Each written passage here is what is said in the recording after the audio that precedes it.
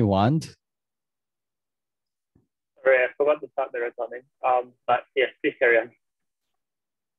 All right. If you really want, you can um, look at the JavaScript uh, specification as well. I've linked it here, but uh, you, you don't really have to. Yeah. So um, if not, let's get started. So um, how do you run JavaScript? For today's workshop's purposes, right, there are two choices. Um, the first choice is to use, okay, the first choice I would say just use your browser console. So how do you open your browser console? You just press F12.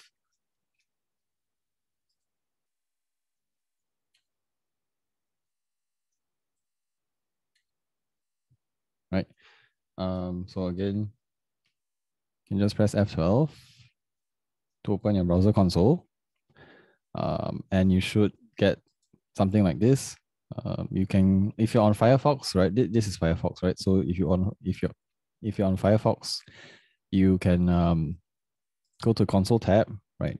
And um,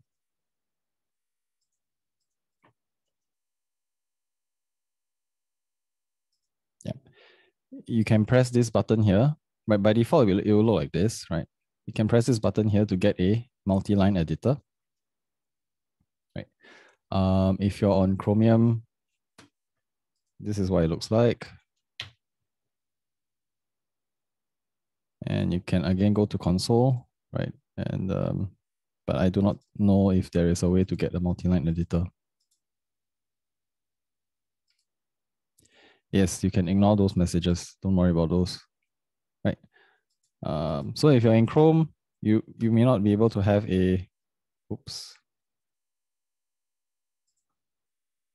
If you're in Chrome, you may not be able to get a multi-line editor. So how do you type multiple lines? You can just um, shift enter. Okay, um, and the other option is the TypeScript playground, right? Um, so if you just click the link on in the slides, right, um, you will go to the TypeScript playground and it's already sort of configured for JavaScript, right? Um, so you can just program here. And the nice thing about this playground is that it has completion, right? Um, and then to run your program, you can click run. Okay, so I will be using the browser console. So if you want, you can follow along using that. Um, yeah. Okay, so um, I hope everyone has a way to run JavaScript. So we'll get started. So the basics, we'll start off with really the basic syntax. So I think that part we will go pretty quickly, right?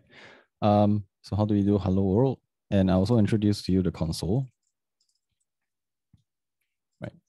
So um, if you run this, we create output, you should get hello, right? So that's your um, hello world in JavaScript. Now, um, the console is um, an object, right? Um, that has some stuff. The most useful one is the main thing that you use is console.log, right? Um, there are some other functions there, but we won't really pay attention to that today. So um, please try and uh, run this in your preferred uh, JavaScript uh, environment, right? Um, and uh, get your get your hello world out. And uh, everyone good? Can you show me? Can you click the thumbs up on Zoom?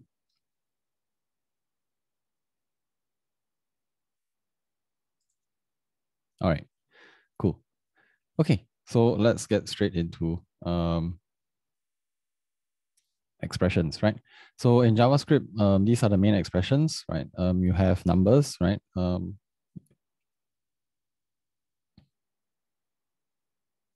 so these are both numbers. They are the same type, right? All numbers in JavaScript are floating point numbers, right? Even if it's uh, even if you just type an integer, um, to the engine, it's a floating point number, right?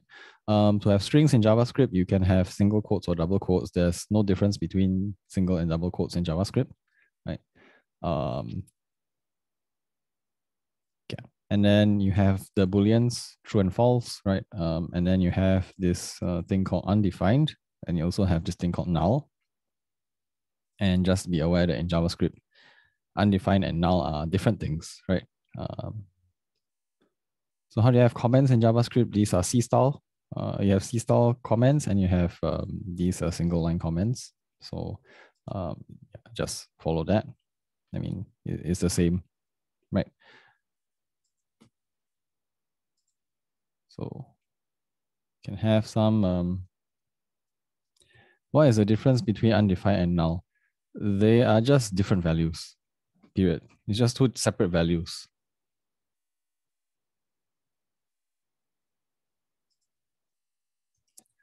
oops. So we can have um, one,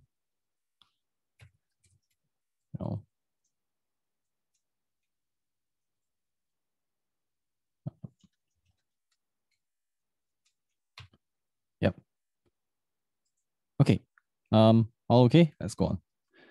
So uh, how do we declare variables in JavaScript? You can use the const or let uh, statements, right? Mm, I will not talk about var today, right? VAR, because that is um, the old way of doing things and uh, it's not really recommended anymore. Okay, so what is the difference be uh, between const and let? Const declares a constant, right? That means once you declare it, you cannot uh, change the value, right? There you go, you get an error. If you use let, can later assign to it and it's okay. Right. Now, if you have a new scope, you can shadow declarations in an outer scope. Right. And um, over here, X, this X refers to the X that is declared the in the inner scope, right? But if you run X here, it will still refer to the original X, of course. Okay, so that is declarations in JavaScript.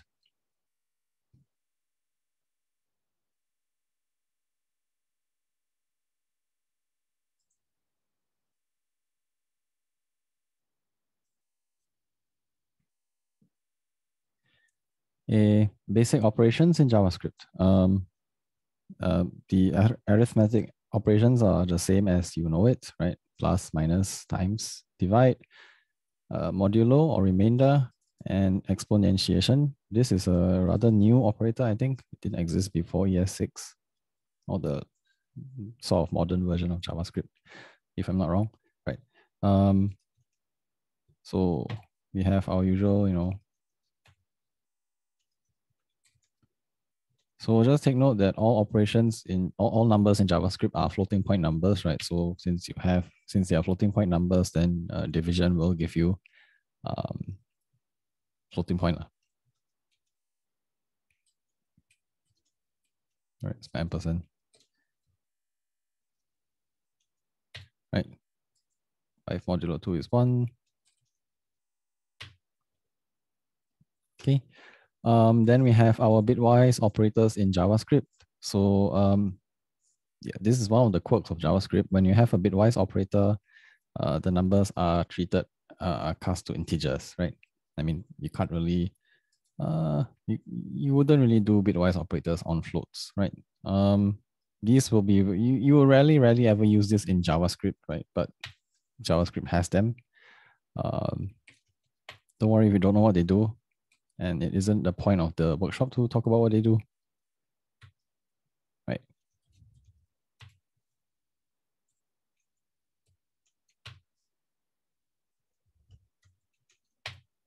Yep. Um, anyway, they are there for the sake of completeness. Okay. Um, then we have our comparison operators.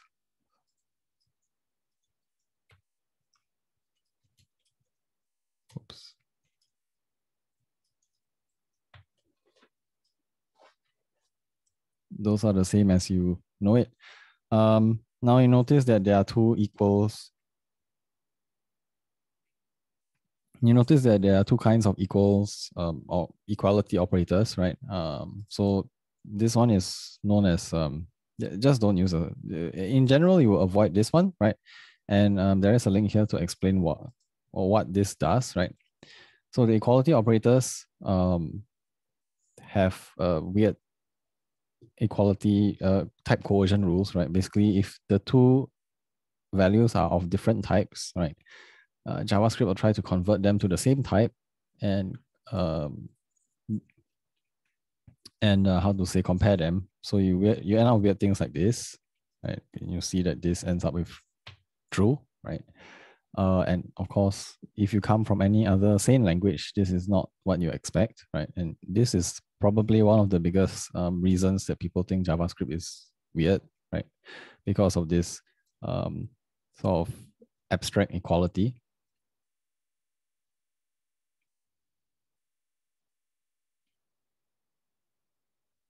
Yeah.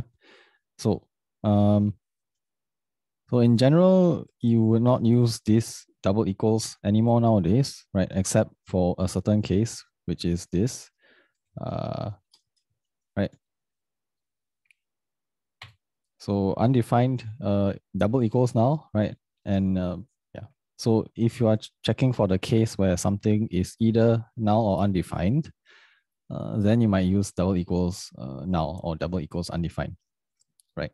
Um, otherwise, in most cases, you would probably do better to use the triple equal sign or um, identical sign, I guess, right? Um,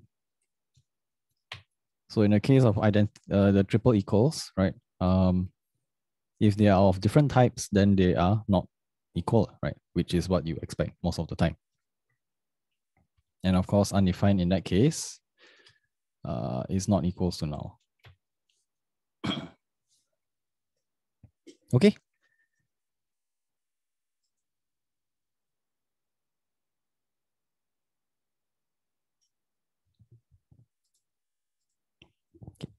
Uh, by the way, the headers are all, um, almost all the headers are clickable, right? And they bring you to the relevant uh, part of um, the MD, uh, the relevant relevant MDN page, right?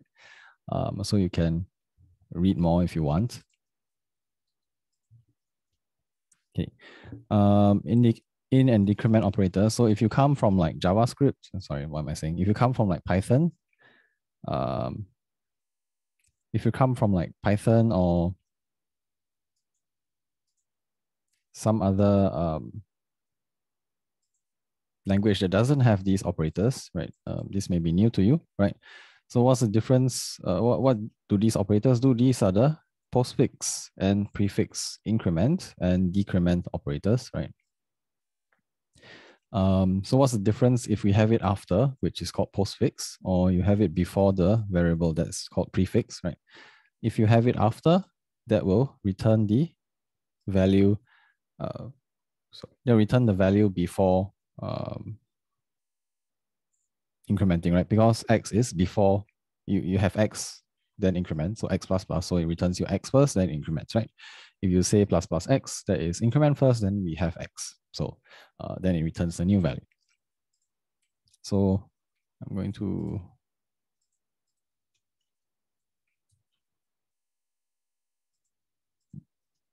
going to open new tab just to clear the context. Um, so we have let x equal zero, right? So define our x. Now x is zero, right? And uh, if I do x plus plus, the value is zero, but x is now one. Right? And if I do plus plus x, I'll get two, right? Because it'll increment x first and then um, return x, right? The incremented x. And we can do the same, and the same is the is the same for the decrement operator, right?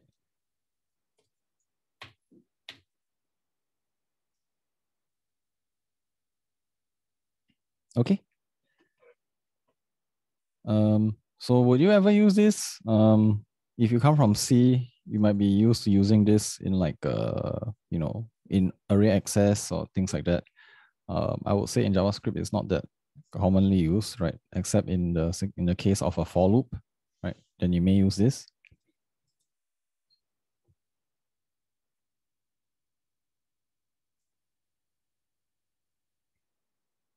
All right, let's go on. So now let me talk about what is uh, before we go on to the Boolean operators as well as, um, yeah, Boolean operators, we need to talk about what is a truthy value and a falsy value in JavaScript, right? So mm, in JavaScript, a falsy value is defined as these values, right? That's it. False, zero, uh, negative, zero, the empty string, null, undefined, and not a number, right? And all other values are truthy. Okay. Okay,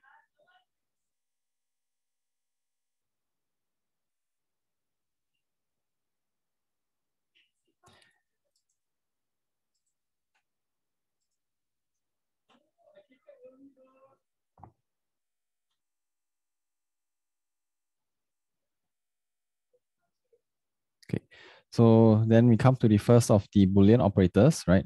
Um, so we have the not operator, right? And the not operator returns true if the operator uh, if the operand is falsy, right? And returns false if the operand is truthy, right? So um, we can give it a try. Right? So so not false, we will expect that to be true, right? And uh, not true, false, right? Not empty string. Empty string is a falsy value, so not, not false will give you true, right? And the same applies for the rest.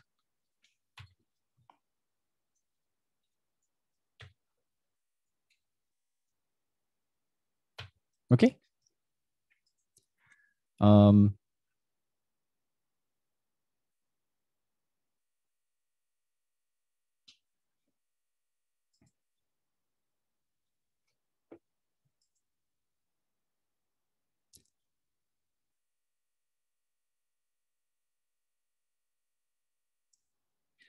Then we have our Boolean logical AND, right? Um, so the main, this is a short circuiting AND, right? Uh, the kind that you expect, um, you know, uh, from any other language, right? Um, how it works, if the first value is falsy, it will return the first value. Otherwise, it return the second value, right? Um, and it is short circuiting, meaning that if the second value is not returned, it's not evaluated at all. So um, you can see from the examples here, right? False and true. So the first value is falsy, you return the first value, right? Or which is uh, false, right?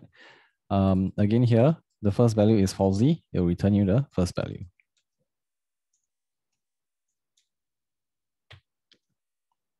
Right, and in the remaining three cases, the first value is truthy, so it will return you the second value, right? Um, so when would you ever use this without, uh, you, you know, um, when will you ever use this without with things that are not booleans, right? Um, you can do things like, for example, um, you want to execute a, you want to call a function only when the the first value is true, right? For, for example, um, some flag and uh, call function, right? So you can do this. And if the first, um, if the first value is false, right, then the function won't be called, right? If the first value is true, then the function will be called, right?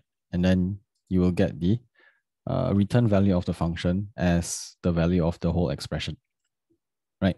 Um, you might be familiar with this in other scripting languages which have the same behavior as well, right? Uh, in, in, in terms of their Boolean operators, uh, logical operators, right? They return the, um,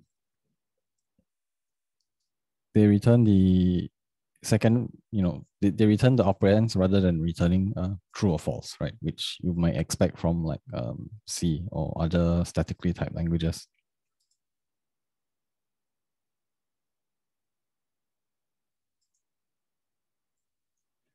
Okay, and then we have our logical OR, right? So if the first value is truthy, returns it. When the first value is truthy, we return true or whatever the first value is, right? Otherwise returns the second value. So in the case of um,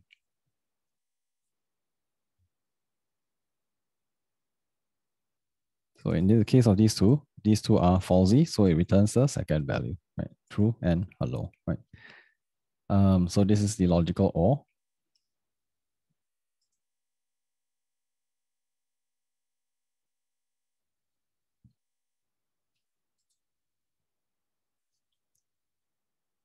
So when might you use this? You may want to use this uh, sometimes when um,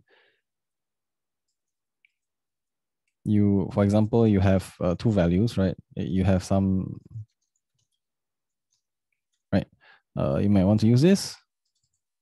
You may want to use this, right? Depending on the type of some value, right? Um, although there is a new operator, right, which we'll call the null coalescing operator.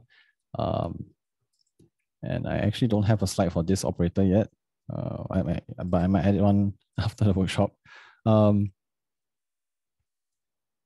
right. So back to this. So if you have some value or default, right? If some value is like null or undefined, then you will use the default, right? And uh, it, otherwise, if some value is uh, some truthy value, right, uh, then you will use you return some value instead, right? So this is a convenient way of specifying uh, some default values, right? Now, the only problem is that um, this will also return default in a case where uh, some value is empty string or zero, right? Uh, which may not be what you want, right? So that's why there is the new operator, what we call the null coalescing operator.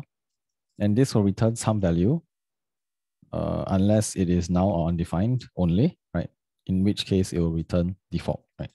Um, I don't have a slide for that yet. I'll probably add one in. Okay. Um, let's see where we are. Yeah, everyone okay so far?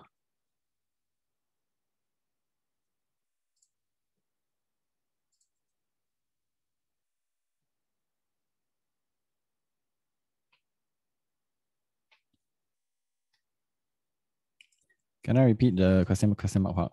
Basically, it's it will return some value unless it is null or undefined, in which case it will return the um, the right operand.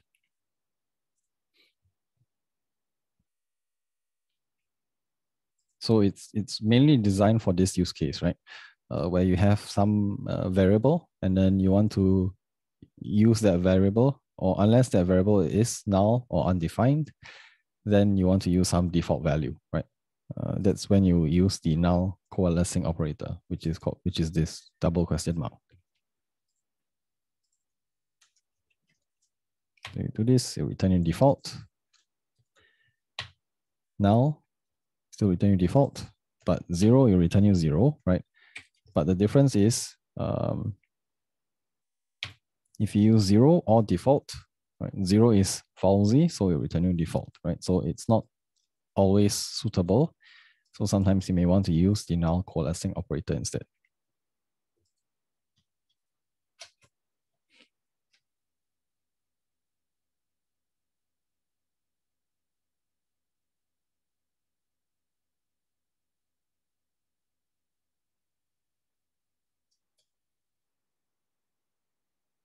The special case for the first operand is only null, undefined, and not a number. Are you talking about this operator or are talking about the null coalescing operator?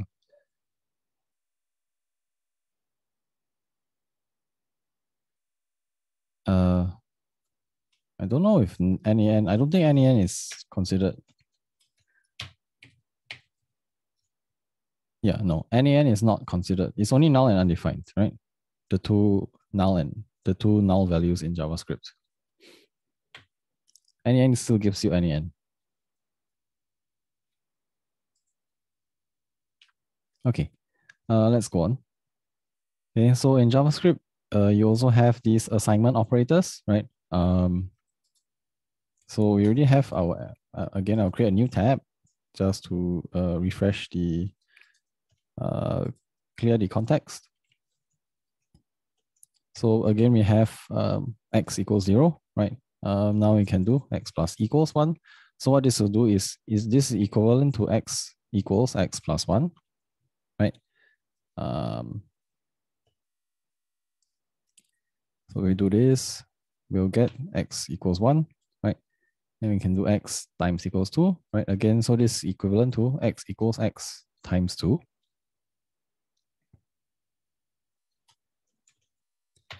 Right, so we get 2. And then we can do, you know, all the other operators with it. And you can even do weird things like this.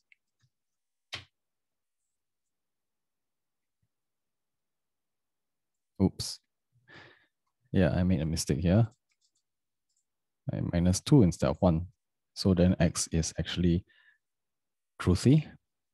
And then it didn't become false, right?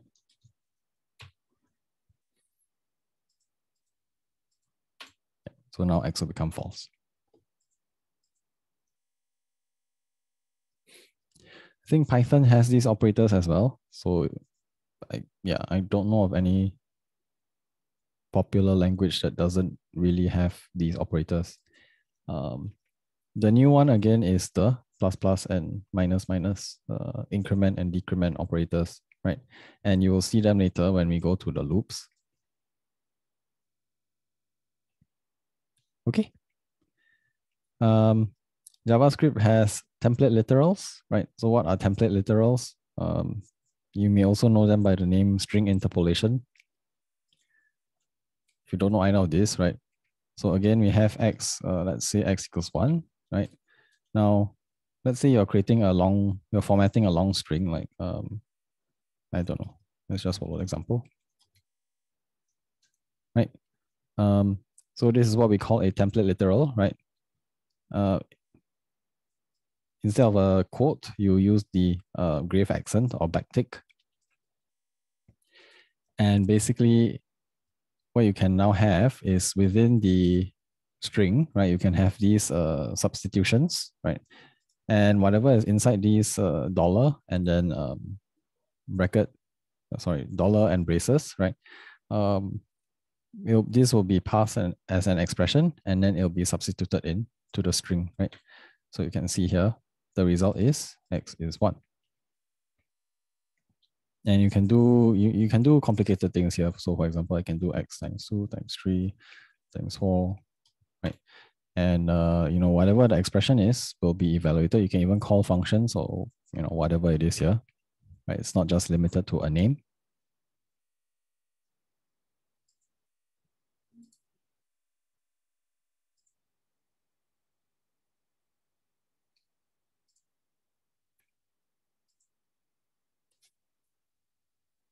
And we will use template literals um, quite a lot in the coming slides, right? Um, yeah, so you will see more of them.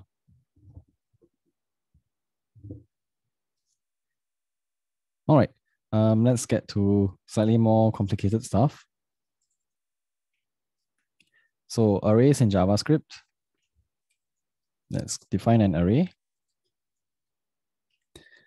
Okay, yeah. Clearly, I did not update this comment, right? So um, when I first wrote this slide, it was an empty array, but now it's not an empty array. So this is not an empty array. Um, let me fix this. Just an array. Okay, so uh, we can create an array with uh, one element, right? and you can get the length of an array, which is just the number of elements in the array. Um, right? And you can append elements to the array using push. Right? And if you now get the length of the array, it's two, right? Now to access uh, elements in the array, you can use the square brackets. Right? So A0 is hello, A1 is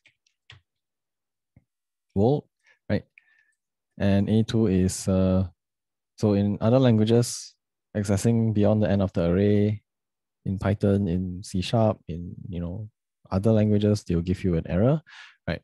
Um, in, in JavaScript, you just get undefined. Right, at least we're still better than C, right? Right, you can access anything, you just get undefined. As long as it's not defined, it is undefined. So So that is the basics of arrays in JavaScript. Okay, let's go on to, um, sorry, everyone okay with this?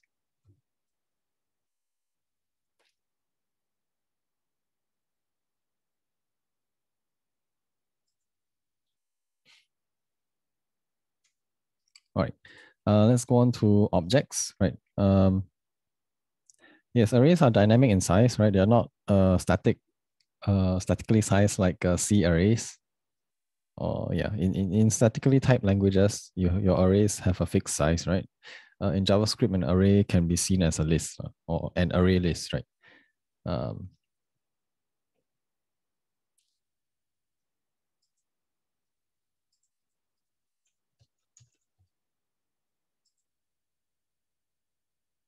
Okay, so um, JavaScript, we have this uh, idea of objects, right? Um, now you may be wondering, why is this an object, right? It just looks like a um, map, right? Um, or a dictionary, right? And in some sense, that's what they are. Um, but this is also the foundation of all JavaScript objects. And um, JavaScript actually actually calls this type an object, right, rather than a map or dictionary. So we'll follow their terminology.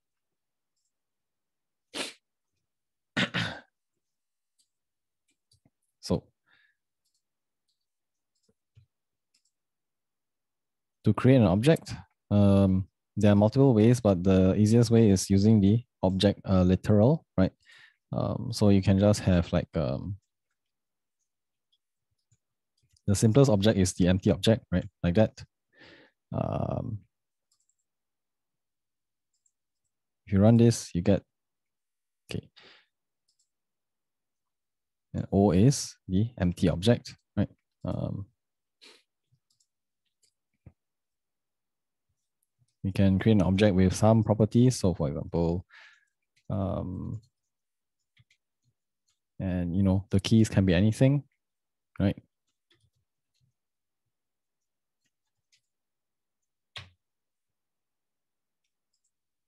Then after that, you can access the properties, right? So um, JavaScript provides you two ways to access properties, right? You can use the array index, uh, the indexer, square brackets? Uh, but that is, um, if the name is a valid identifier, right? Uh, that means it's a valid uh, variable name. Then you can also access it using the dot, uh, like that, the dot whatever, right? Um, so my object does not have a B, but we can assign to it as well, right? I didn't have it in the slides, but you can assign using the same syntax. So now uh, you can then access x of b. If you access something that doesn't exist, like here, x or whatever, or if you access something that doesn't exist, you get undefined, right? Um, and um, if your property key is not a valid variable name, then you cannot, of course, you can't do this, right? Uh, yeah, you have to access it using the uh, property accessor or indexer uh, syntax.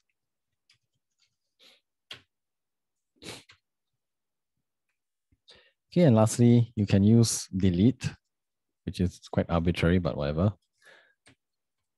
You can use delete to delete, um, you know, uh, properties from an object, right? And now if we go back to access this, you get undefined. Okay.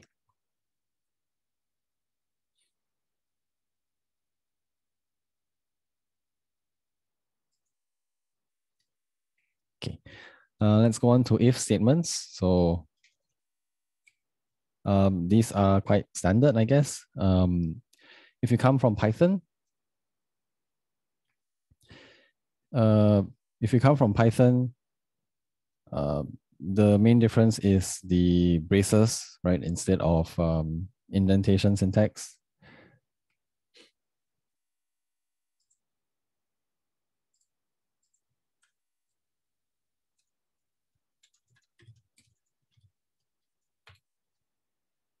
Right.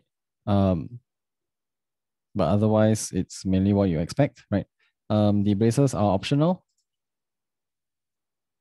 Okay, so if you have a single statement uh, after your if, right, the braces are optional, right? But I would recommend I would recommend that you do not uh, omit the braces, right? Because, um, you know, it's easy to make mistakes afterwards, right? If you forget to add the braces and if you think you're programming in Python, then maybe you add another statement here, but it's not actually controlled by the if. Right. So what do you get when you run this? You get uh, true, right?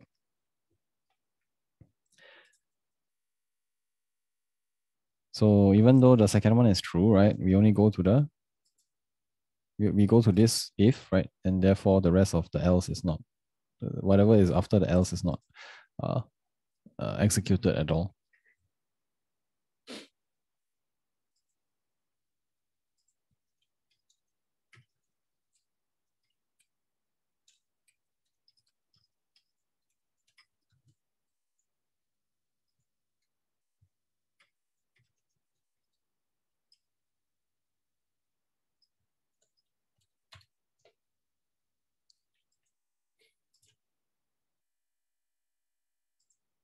All right.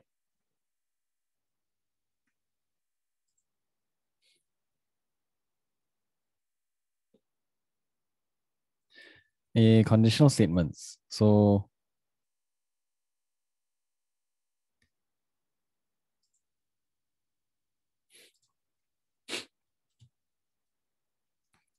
in Python, you have the if, um, you know, x if value else y, right? Um, this is basically equivalent to that, right?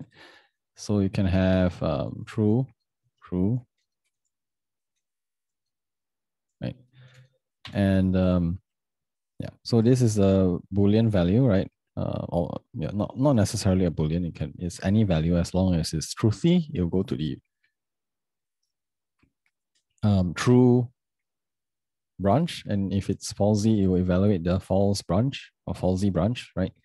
Um, and you can, and this is an expression, so you can use this in, um, you know, like uh, wherever, lah, wherever expressions can be used. Now, um, just give the second example a try, right? And uh, tell me what you get, right? Uh, the question is how is this treated, right? Do you brace it like this?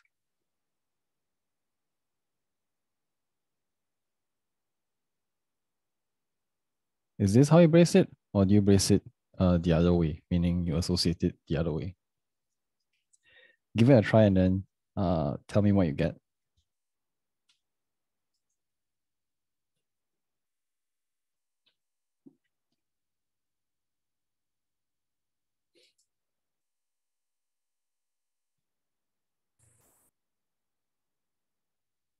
Anyone?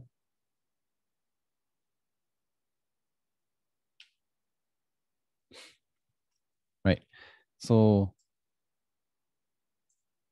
what you get is this, right? You get true two, right? And, and so that implies that the bracing is the other way around, meaning that this is evaluated like this,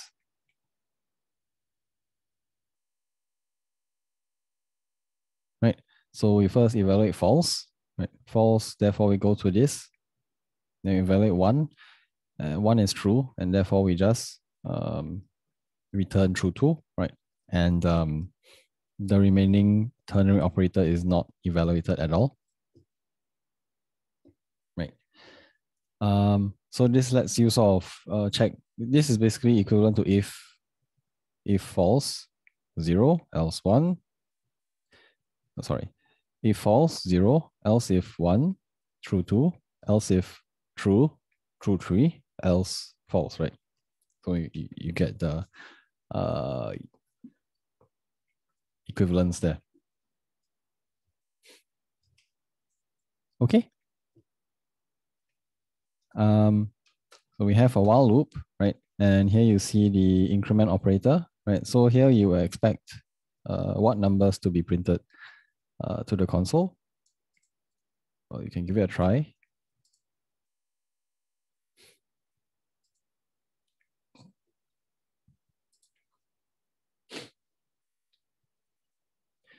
So you get 0 to 9, right? Because we are printing 0. We are printing i when it's i is 0 and then increment it. And all the way until i equals to um, 9.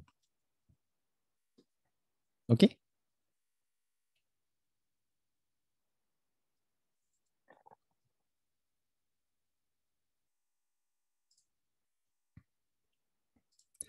Okay, and then the for loop, right? This doesn't exist in Python, right? So uh, I'll talk about it a bit uh, more, right? So what does this do? Basically, this for loop here is a C style for loop, right? There are three parts to it. The first is a variable declaration or initialization, right? Um, this is optional. In fact, all of the parts are optional, but um, um, I include, so this example is a more typical example, right? You can have, um, I'll show you later um, how to leave out parts if you don't need them.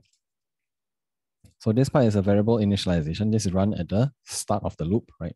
Just once, right? Then this is the loop condition.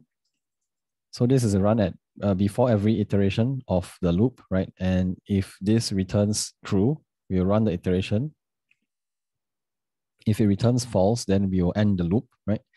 And this is the um, after the iteration. So then we will normally here you will do some side uh, some kind of um, I don't know. You do you update the variable uh, counter or or whatever you want to do, right? Um, typically, it's to update uh, to increment the counter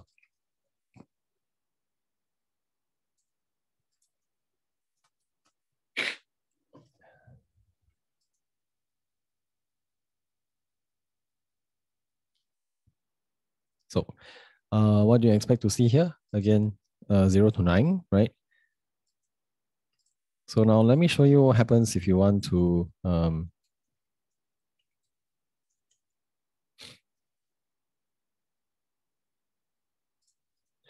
So suppose you already have a variable outside that you want to use, then you can just do this, right? Uh, you can omit D, you can omit this part. Right? This works too. Okay, I is already declared.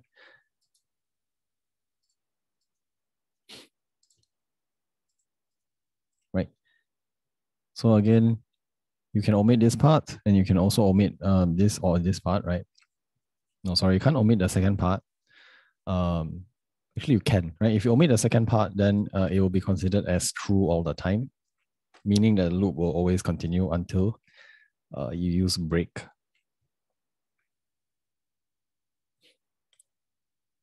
Okay,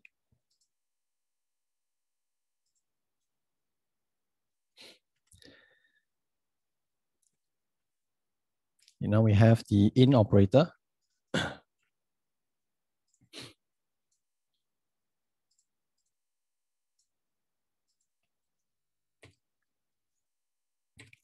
So we have our object O, right?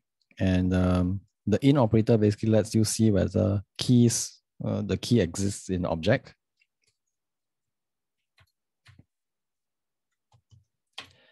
Right? Um,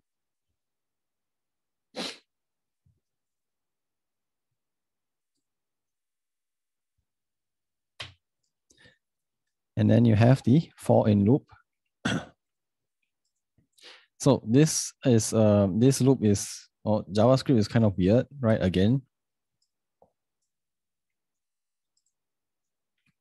because in other languages, the in um, the for in would give you each element of the you know collection, right?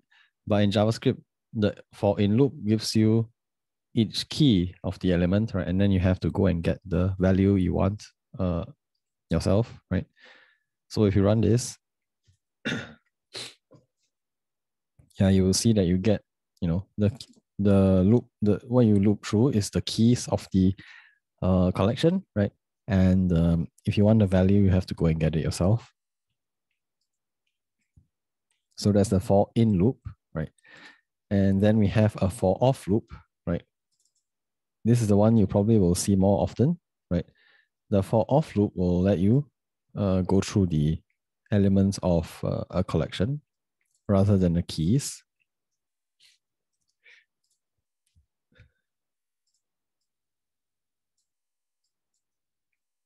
So we already have our array defined, so I'll not define it again, right? And you will see here that um, now this, um, yeah, right? I'm going through the elements of the array rather than the keys of the array.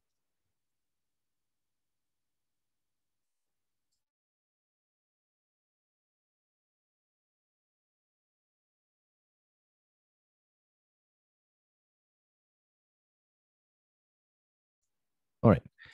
Um, let's go on. So now we have the break and continue statements. These are the same as they are in uh, most other languages, right? Uh, break will just end the loop, right? And continue will, um, you know, continue to the next iteration and skip the rest of this iteration, right? Um, So we can see what is printed here. So really just hello, right? Uh, we skip world, then we print three. Then after that, at four, we break before the console.log, and therefore uh, four and five are not printed.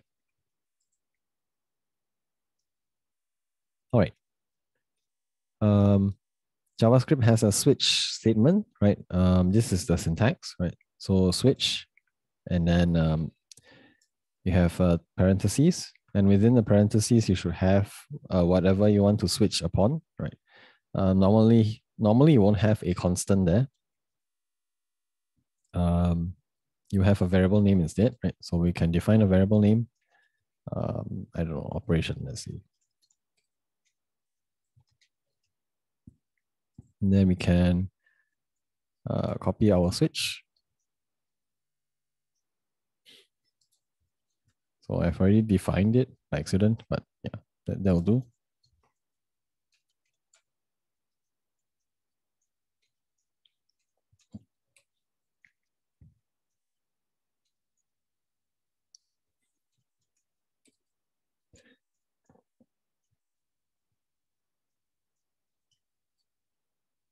So um, if you run this, right, since operation equals to ABC, right, um, it's going to go to this branch, right? And then um, print out ABC, right? Um, now, if I change the value of operation,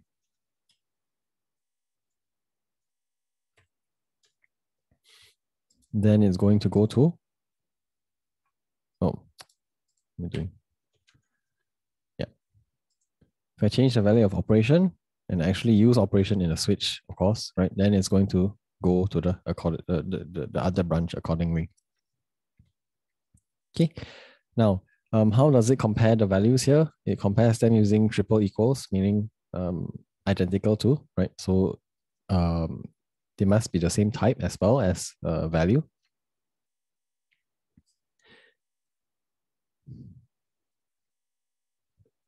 Okay, and uh, you may be wondering what this break is for, right? And is it the same as the uh, for loop break? It's basically the same, right? Um, when you see, when it runs into a break, it's going to exit the switch, right? Um, now, if you leave off the break, what's going to happen is it's going to fall through, right? Um, and you'll see here, you end up printing, you end up executing both blocks, right? One, two, three, and ABC. Right. And finally, what is this default case? Um, it's basically what happens if none of the other values match, right? Um, so if I change the value of operation to something else and I run, it's going to go to the default case. Now, if I don't have a default case and I run operation, then um, nothing happens. Right, I run this, right? Nothing happens because none of the cases matches. So it just uh, goes past the entire switch.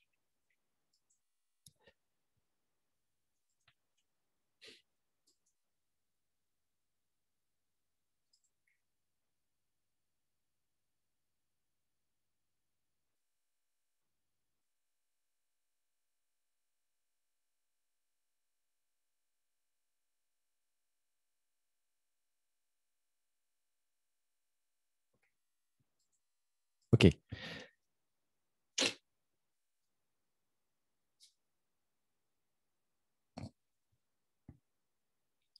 Okay, now we go into actually modern syntax, right? Um, so we have the spread operator, right? Um, in Python, you have the what, what what do you call it? The splat operator, right? It's asterisk, right? Um, in JavaScript, it's a spread operator instead, so it's uh, three dots or an ellipsis. So how do you use it? Let's define some arrays first. And an object.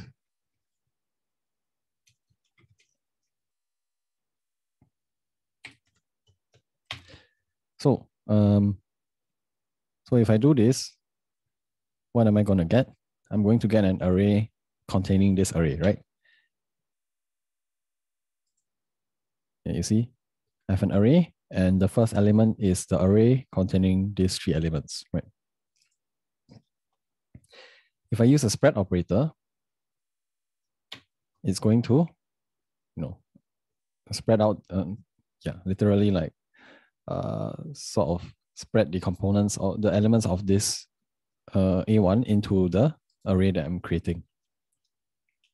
And you can repeat the spread operator multiple times. So uh, that you do this, and then you get, um, you know, the contents of A1 repeated twice. And of course, you can combine this with other elements. Uh, A1 itself, right? Yeah. You can use the spread operator with objects as well, right? Um, that will combine the objects. So if I want to create an object like um, like that, oops.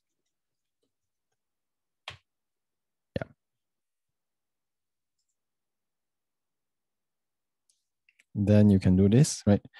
So it's not really like joining, right? I will call it more like um, you're really you you're like saying, okay, let's put the elements of this array into this new array that I'm creating rather than putting the array itself in the array.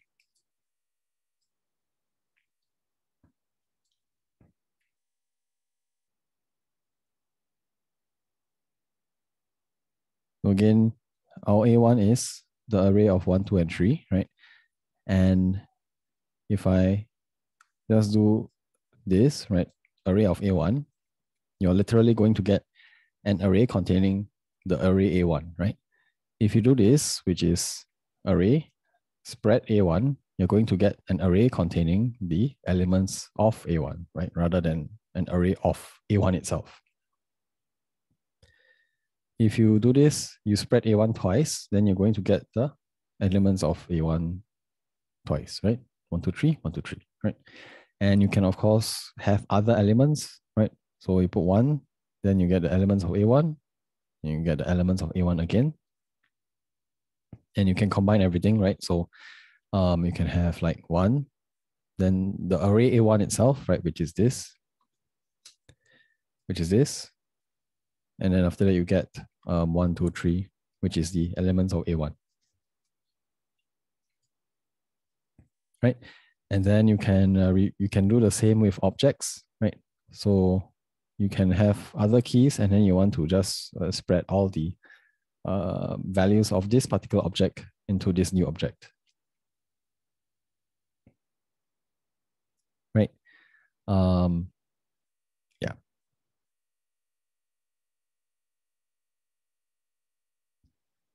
Okay, if you're if you're using if you're trying to sorry if you're trying to create an object right at the start of a line, you have to use braces.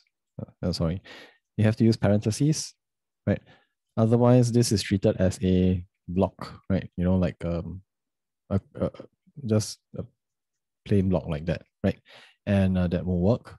So you need the parens to indicate that, uh, so that JavaScript doesn't treat this as a block, right? It treats this as an object instead.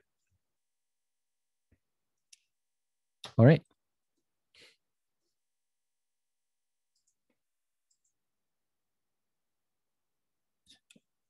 Um, everyone okay?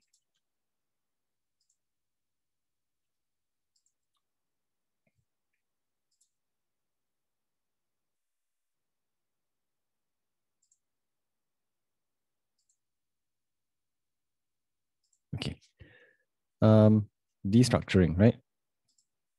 So um, you have destructuring assignments in JavaScript, right? This is also new syntax, right? So if you have, um, okay, I'm going to again create a new tab to clear my context. So again, let's define um, three variables. Now I can do a destructuring assignment, right? Um, so this will match the left-hand side with the right-hand side and assign accordingly, right? So you can see now A and B. You can see A is now 10, B is now 20, right? And you can even combine this with the spread operator, right? So if you do this, so what's going to happen is it's going to assign one to A, two to B, and then the rest of the array will be assigned to rest, right? So if you check what is A, A is one, B is two, and rest is the rest of the array, right? Um, which is an array of three elements. Okay, and you can do this with um, declarations as well, right? So for example, um, again, clear the context because there's already a, a and B defined. Why is it called destructuring? Because you are you are destructuring the um, this list, right? So what you can do, right, is like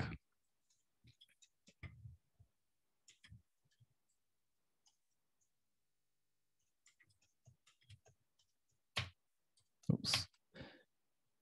So you are matching the structure of the left-hand side with the right-hand side, right? That, that's why you call it destructuring, right? So if you do this, now A is 10, right? B is 20, C is 30, right?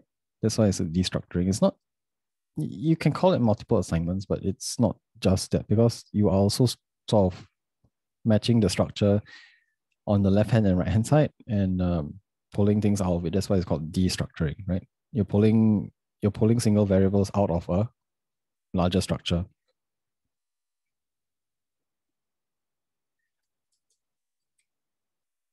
Okay, and then we can do the same with objects, right? So you can do like, um, see, um, let's use a more complicated example. So like, um, right? And we can match it on the right-hand side. So we will have a C equals one. Oh, let's not use C, let's use E. And then A will be an object containing a D. Five, right? So now uh, what is being assigned to here? You have E and uh, D and E that are being assigned, right? And D and E will get values five and one, right? So now if I do D, you get five, E you get one.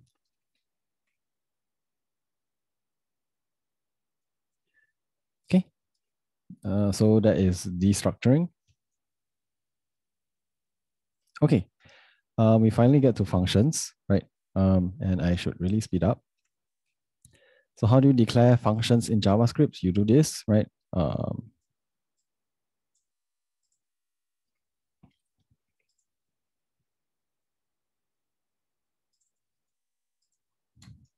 okay, so in this case, you would expect to see two prints, right? Of course, this one first, so hello world, and then after that, the function will return five, and then um, we will log the five that is returned from the function, right?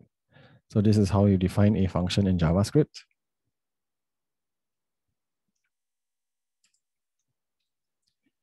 So one of the things about JavaScript is that function arity, right? Arity meaning number of uh, arguments that is passed is not checked meaning that even though your function declare um, your function accepts or you declare it with five uh, parameters here, right? You can invoke the function with any number of arguments and it will work, right? So what happens to the arguments that are not um, provided? It becomes undefined, right? Um, so you can see what happens. You can run this and you will see that Um, if I pass no arguments, then you get undefined five times, right? Um, and so on and so forth, right? And if you pass more arguments than the function takes, right? Um, the rest of the arguments are just ignored, right? So that is JavaScript for you.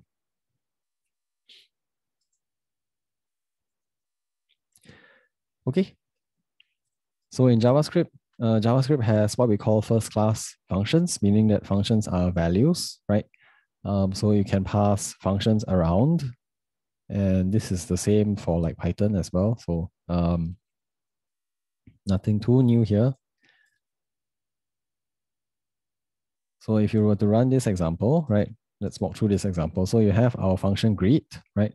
Um, you have a function apply that takes a function and uh, an argument, right, and then just applies or calls that function f, right, uh, with the argument, and then it returns f, right. So now you can apply greet. Then apply will call greet with the argument world, right? Um, we can store the function greet in a variable, right? Um, then we can use the function greet through the variable name, right?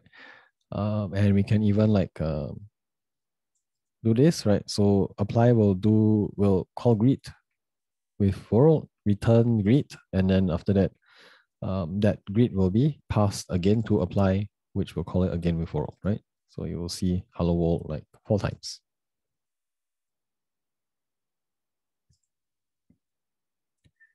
Okay. Okay.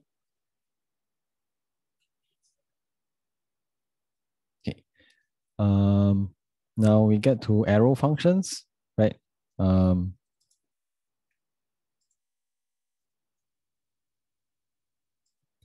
so what are arrow functions? Um, at the heart, it, basically, they are um, a shorthand for defining a function as a value, right? Um, this is mainly used because in JavaScript, you have this thing called callbacks, right? Um, basically, you pass a function to some other function, right? So that when that function is done with doing something, it will call your function to um, return the result, right? As a callback when it's done. So um, these three functions are essentially equivalent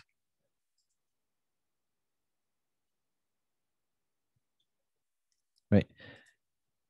So one thing you can notice is um, the bases are still here, right? Um, what's different is there is this arrow here, and um, yeah, these parens are still here. Um, but if you have a single parameter, then the parentheses are optional, right? Um, if you have zero parameters or you have more than one, then you need the parentheses there. If you just have one parameter, then the parentheses are optional.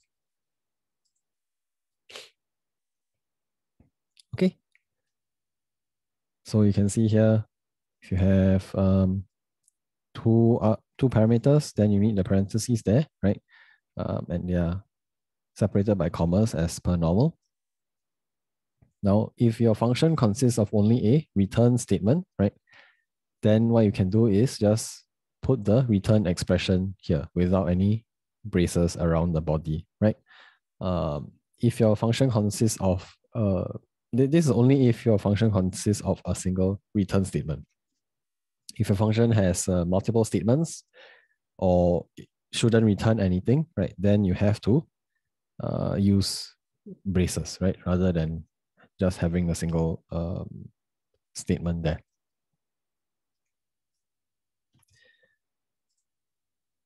Okay, so we can, um, let's run this, right? And we can um, see how this works, right? So five, you expect it works. Um, five, two works the same. Right, add one, two works as well as add one, add two, one, two, right? So arrow functions are more or less the same, right? There are differences, but um, at this point, we will not touch on the differences.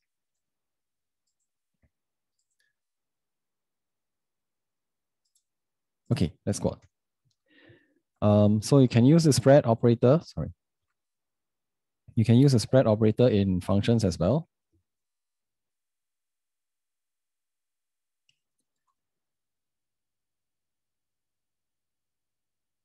So uh, what does the spread operator do in functions? Basically,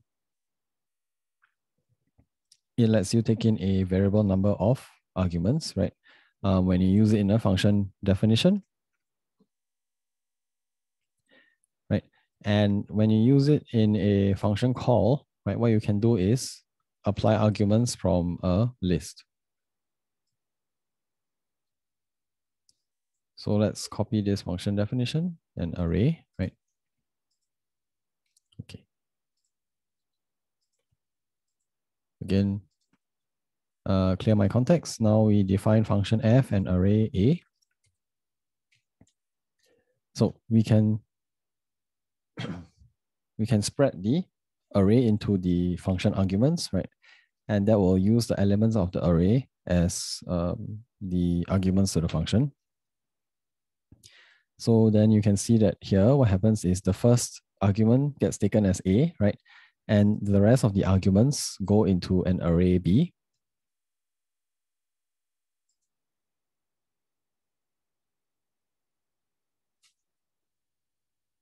If I specify a first argument, then um, you know the first argument becomes A and the rest of the arguments go into the array B. Right. And if I just uh, specify A without the spread, then what happens is the first argument is zero, right? A. Uh, and then B is an array consisting of one array, right? Which is this array. Okay.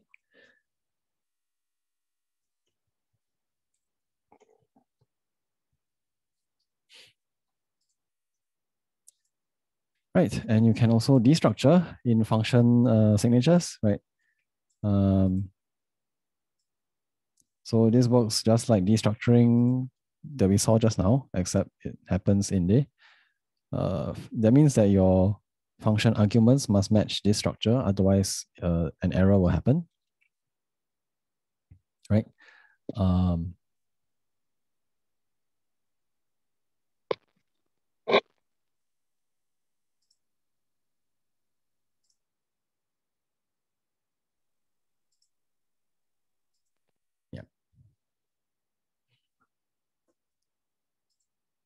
Okay.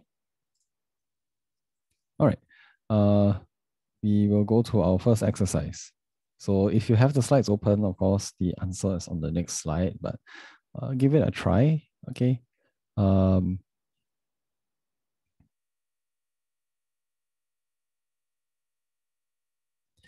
so this is the classic uh, bus. Just try to write it out in JavaScript, right? It should be easy.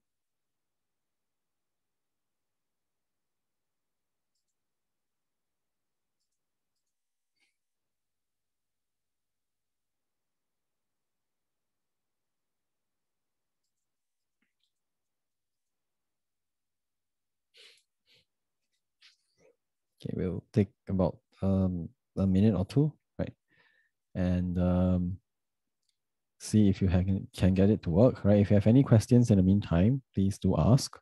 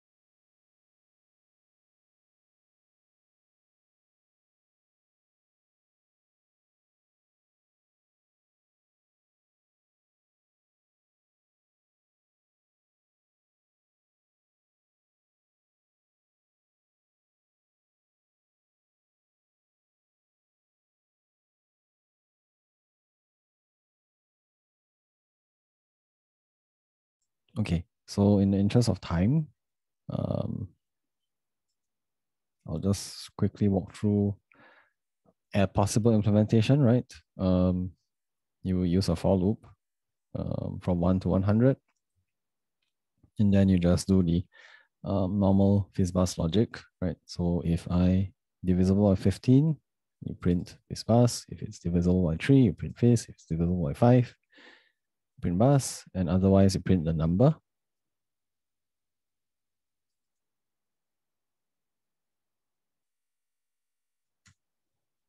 Okay, um, exercise one, right? Um, this is to get you to use, uh, try out uh, spread, right? The spread um, operator. Um, so write a function that prints out its arguments like this. Number one, print out the number of arguments, and after that, print them out um, with the index, right?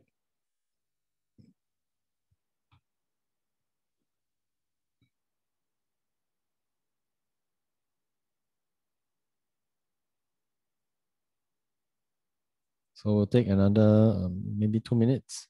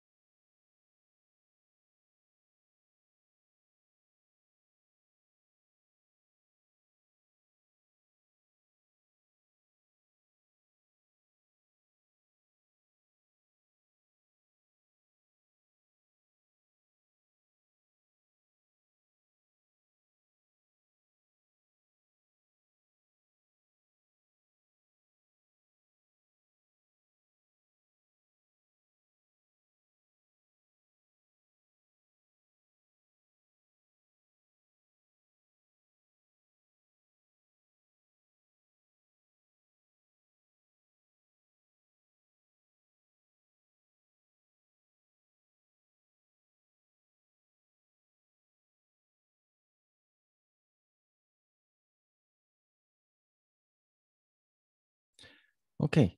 Um, hopefully you managed to get something, right? Um, so really what you want is a function with just a single spread argument, right? So that all the arguments go into this uh, array args, right? Then you can print out the number of arguments. Then after that, you can iterate through um, the argument array, right? Whether you use an in loop or a for loop, a normal for loop, right? Um, or some other method, right? That's fine. Um, I think this for me was the easiest, right? So just go a for in loop. Um, and then you can, yeah, you can print the uh, argument according to the index, right? And that's it.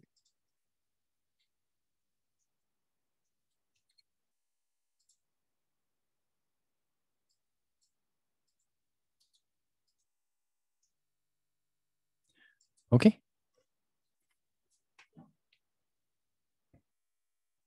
Oh, actually, I do have a slide on this, right? So this is the null coalescing operator that I mentioned earlier, right? Um, so it returns the right-hand side if the left-hand side is null or undefined. Okay, um, there are a few sort of uh, convenience operators as well, right? These are all new stuff um, in, in the sort of modern JavaScript, right? Um, you have the optional accessing operator, right? Basically, if the left-hand side is undefined, right, it's not going to try and access the right-hand side. It will just return you undefined, right? Um, yeah. So the difference you can see here, P is, M, P is an empty object, and if I try to access a dot b, normally you will get an error, right? So let's actually try this out. Right, so uh, we have OPQ, right? So if I normally access p.a.b, you get a error, right? Because p.a is undefined. So you can't access dot .b of undefined, right? Uh, but if I do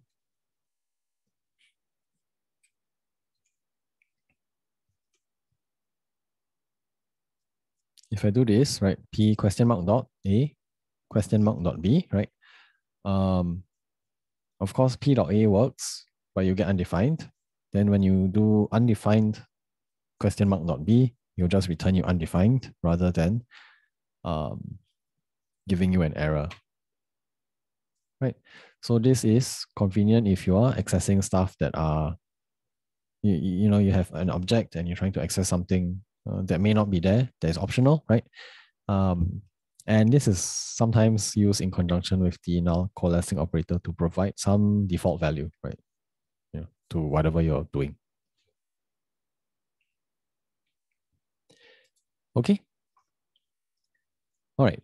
Uh, last part for this uh, part, right? Um, last slide for this part, I think. One of the last slides. Yeah, it is the last slide for this part. Um, so JavaScript has uh, mainly these types. There is one more that um, I think uh, isn't that important, right? Uh, we have the undefined. So undefined itself is a type, right?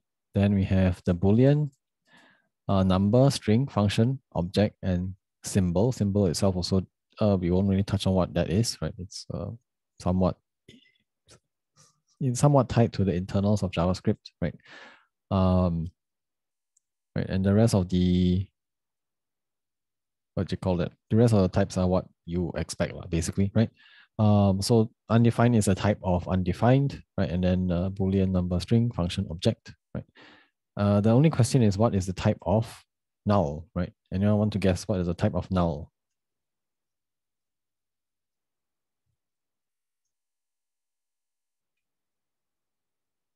Right, so if you give it a try, you'll see the type of null is object. So yeah, we have this type of operator, right? So you can use type of to look at the type of things, right? And it returns you a string, right? It's these strings, right? Uh, exactly these strings, right? undefined boolean number string function object. So you can use it to uh, tell the type of values, right? In case you want to check for whatever reason. All right. Um, so normally I will have a break here, but because I'm severely running behind time, I will not put a break here. So uh, we will just go ahead. Okay, so we have already seen how to make objects, right, in JavaScript, right? So you can have like, um, we have seen these curly braces, right? And uh, you can have properties, right? Name, age, and then we know that you can make a function so just now we have seen the function uh, declaration syntax, right? You can actually leave off the name and this will become a function expression, right? It can be used as a value. Um, so if we, oh, whoa, whoa. Okay. So what do you expect from this? You ex you just get um, sort of what you expect, right? Uh,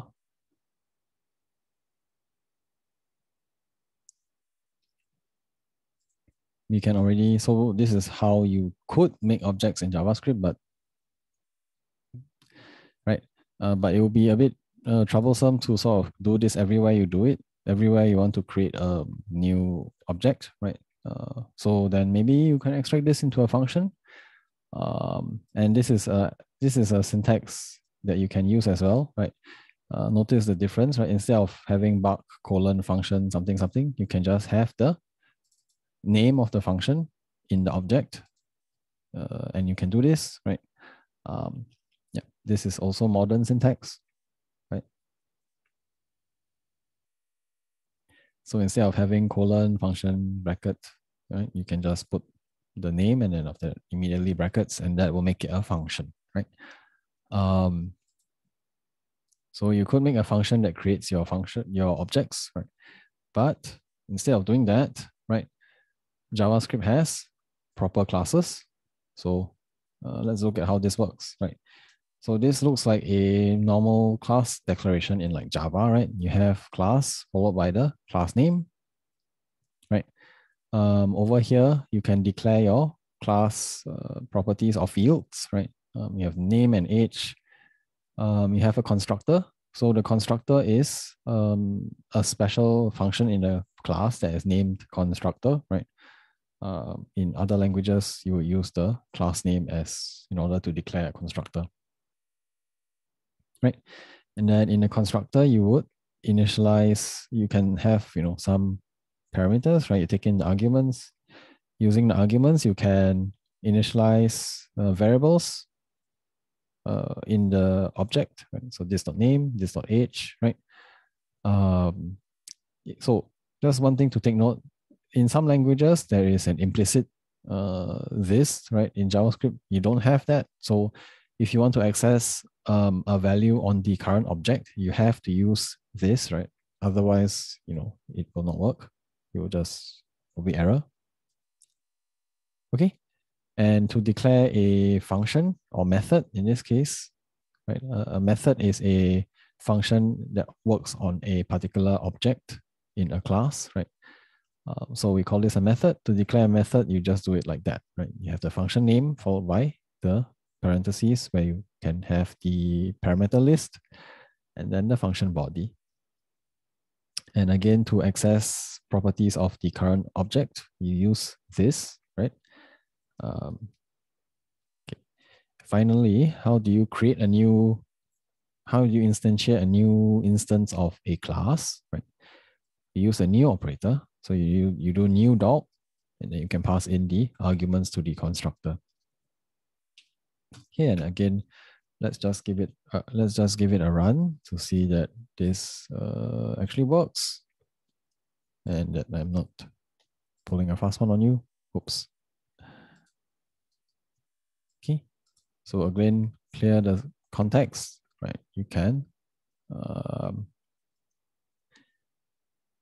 declare a class dog, then you can instantiate a dog named Buster, who is three years old, and then Buster will bark.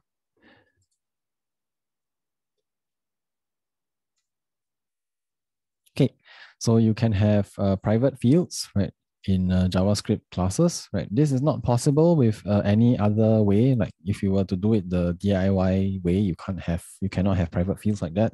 This is only valid in a class, you know, a proper class declaration like that, right? Um, so how do you have a private field? You just declare it with a hash, right? And then within the class body, you can access it using a hash, um, so these are truly private, right? You cannot access them uh, outside the class, right? Uh, if you try without the hash, you just get undefined, right? And if you try it, uh, you know, with the hash, JavaScript will complain that you're not inside the class body, right? So that's how you have uh, private um, fields within a class and you can also have private methods. So by the same logic, right, you can use a hash.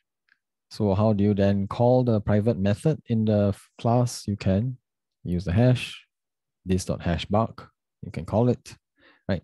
But you notice you cannot access it from outside the class, right? Um, and as far as I know, there's no real way to bypass this, right? Not in certain languages, not, not like in other languages.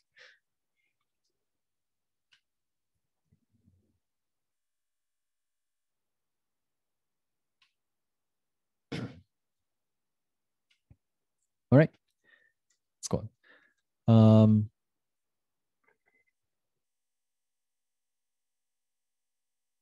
sorry, any questions so far?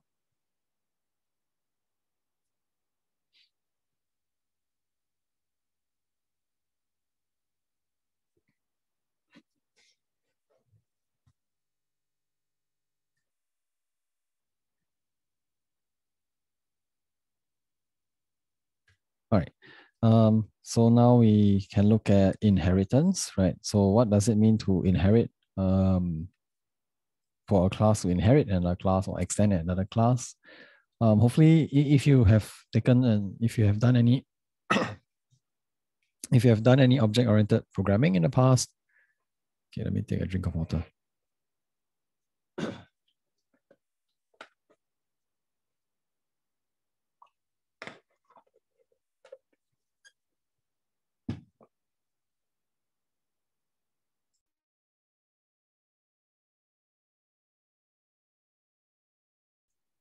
Okay, so if you have done any object-oriented programming in the past, then um, you will know what extend does, right?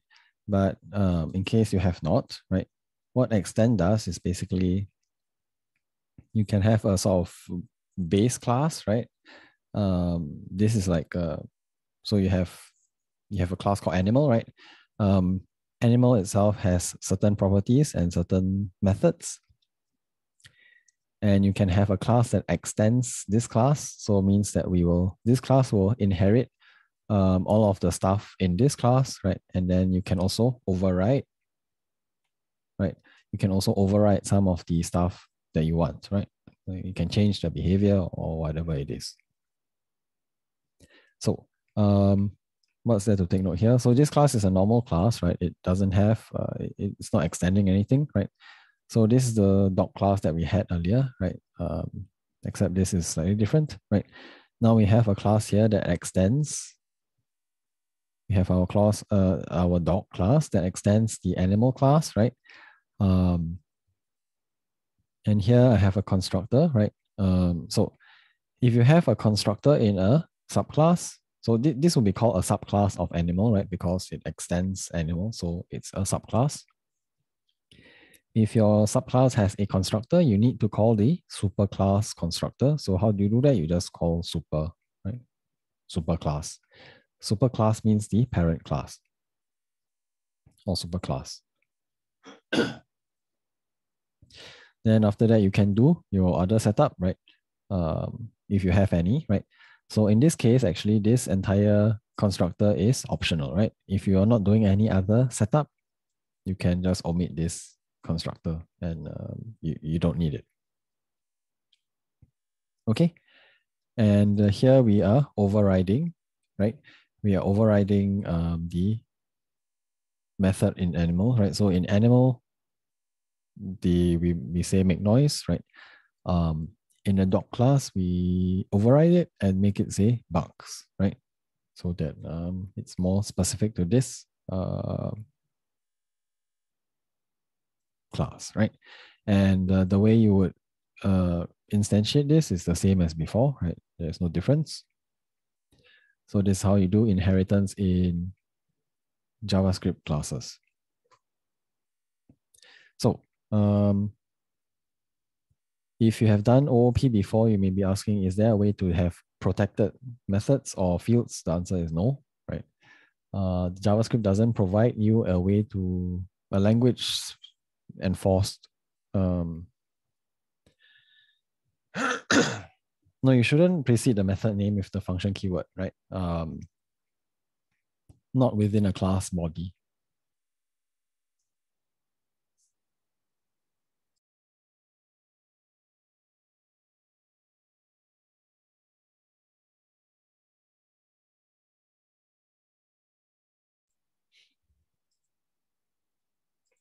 All right. Um, shall we move on?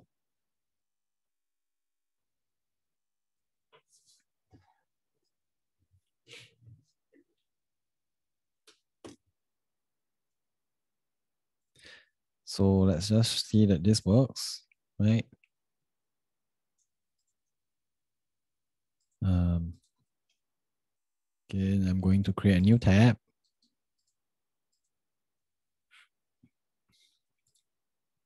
Okay, you can see that we are still barking, right? Um, yeah. So if you ever need to access uh, superclass um, methods or yeah methods mainly, right? Because these are inherited. Um, then you can use super, right, to specifically access uh, methods or in fact, even values, right, uh, from the superclass.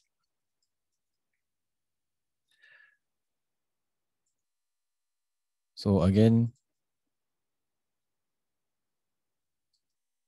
can run this. And uh, in this case, because we are calling the superclass uh, method, we will see both lines being printed, right? So you see um, Buster makes noise and Buster barks too, right? Um, so that's the use of super.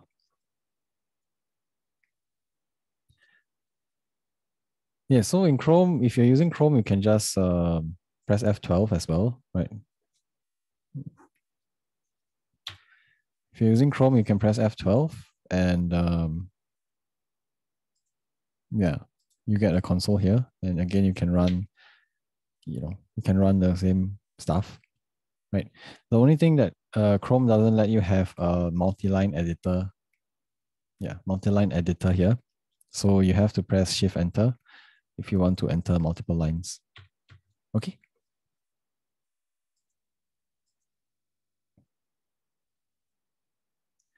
Okay. Um, so you can have static uh, properties in JavaScript classes, right?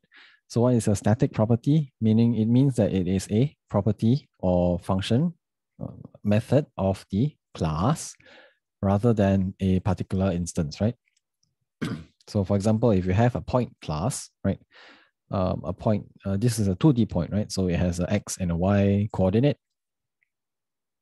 And uh, you want to have a distance, uh, a function to compute the distance then um, you may you may make sense to have it as a static method instead because it is a property of you know it's not a property of a particular point right um, so you can have it as a static method and you take two points and then you compute the distance so you can then instantiate two points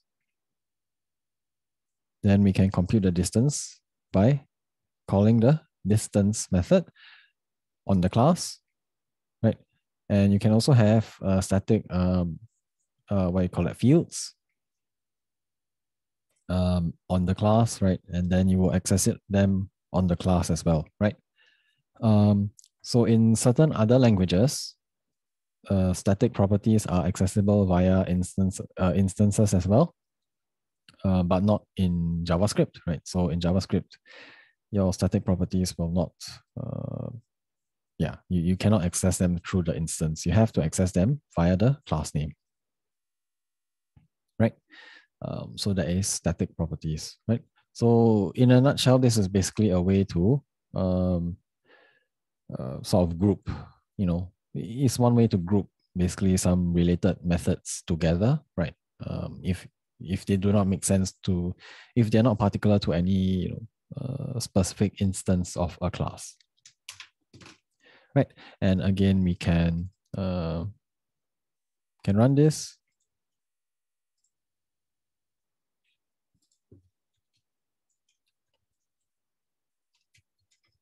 You can see that we get uh, five, right? And if I do this, then we can uh, get the value of that um, static field. Okay, and if you try to access it from the instance of the object, you get uh, undefined. Okay, um, now this is almost the end of the OOP section, right? There isn't actually much to JavaScript OOP, right? Um, it's just that. So um, how do you distinguish be between classes, right? If you actually try this, you, so I'm gonna clear my context, uh, context again. So let's define two classes, right? Um, they're all empty because that's not the point, right? What's important is that um, the important part is this, right? So now if I do type of A, you get object, right? You get uh, you do type of D, which is a different class, right? You also get object. So how do you differentiate between classes, right? Um, the answer would be inst uh, instance of, right? So you have this uh, instance of operator where you can tell whether a class is uh,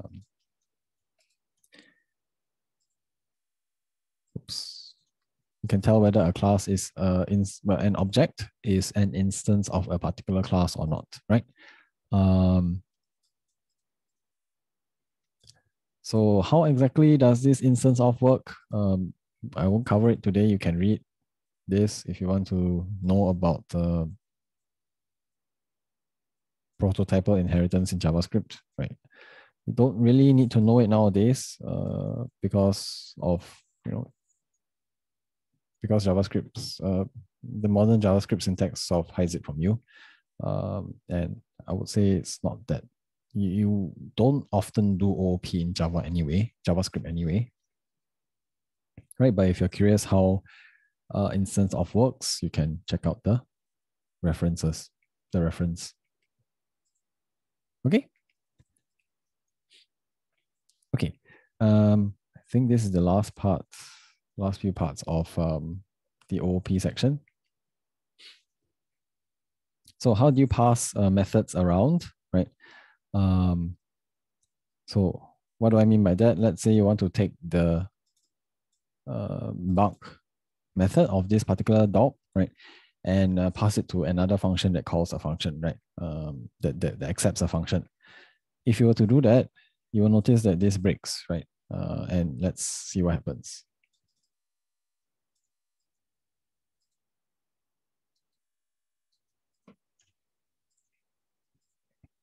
Okay, you see here it says uh, this is undefined, right? So why is this undefined, right?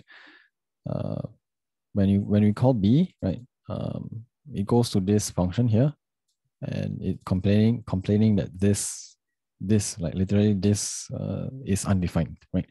So the reason that it is undefined is the is because the way JavaScript de, uh, determines the value of this, right, is by selecting this? Whatever you, if you do d dot bark, then this equals to d. So now if you take away, if you do, if you access d dot bark like that, right, and then after that you call b like this, um, there is no more, you know, there, there's nothing before this to assign this to, right? And therefore, uh, to assign to this, right? And therefore, this here becomes undefined, right? So what's the solution to this? Um, and you may run into this when you are doing, when using JavaScript classes, right? The solution is to bind, uh, you know, you take the bark function and you bind it to D, and this will make the this, this will give you a copy of the function, except that this is locked to this uh, particular, you know, this particular dog, right? And this will work, right? So what we can do is I'm just going to look at the last line. So we're going to bind it to D, right? Uh, let's call it C. And this will not break, right? This will work. So you can see that it works.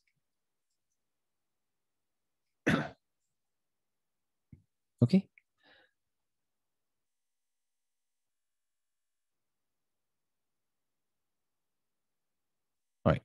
And last but not least, I have this here um, just because we had the new, um, there is a new here, right? And uh, I didn't want to talk about this before I talked about uh, objects, right? So um, you can have try catch in JavaScript. This is how you do exception handling. So um, functions can have errors, and when errors happen, they might throw they might throw you errors or exceptions, right? Um, so this is how you throw something in JavaScript. You just literally throw and then the thing, right? Um, yeah. So then you can have a try and catch block. So you try, you call, you do stuff that may potentially throw errors, and then after that you can catch the error.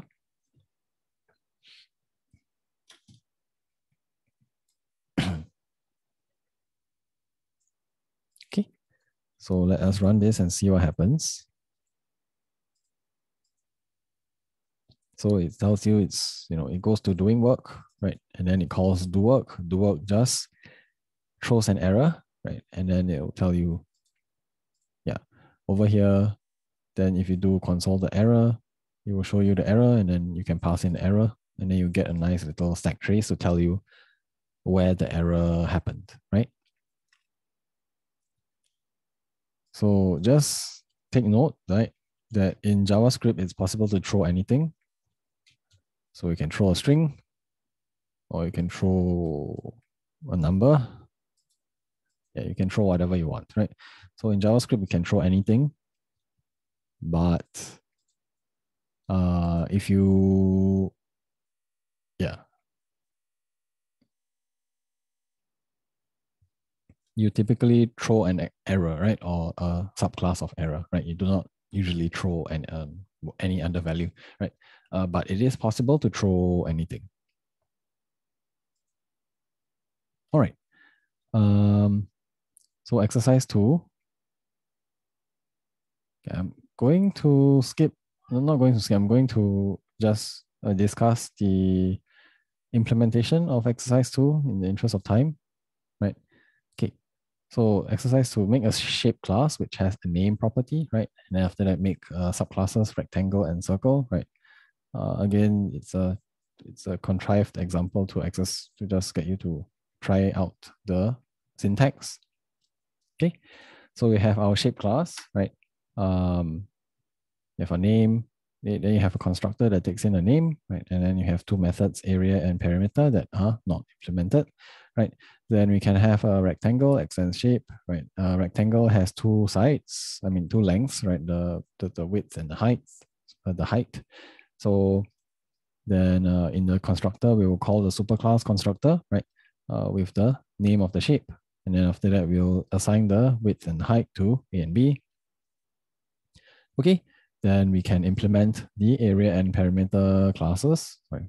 Uh, implement the area and perimeter methods, right? Um, so for a rectangle, the area is just A times B, and the perimeter is just the sum of twice of the sides uh, and sum of the sides, right? Which is the sum of twice of A and B. Okay, and then our uh, circle, we have a single, a circle has a single parameter, which is just the radius, right? So again, we'll call our superclass constructor with a name of the, yeah, just to pass in a name. And then uh, we will have one, we'll just set the radius up, right? And then we implement the area and perimeter um, area and perimeter uh, methods, right? And then, um, yeah, right. So that's that's about it. Okay. Um, any questions regarding uh, OOP in JavaScript?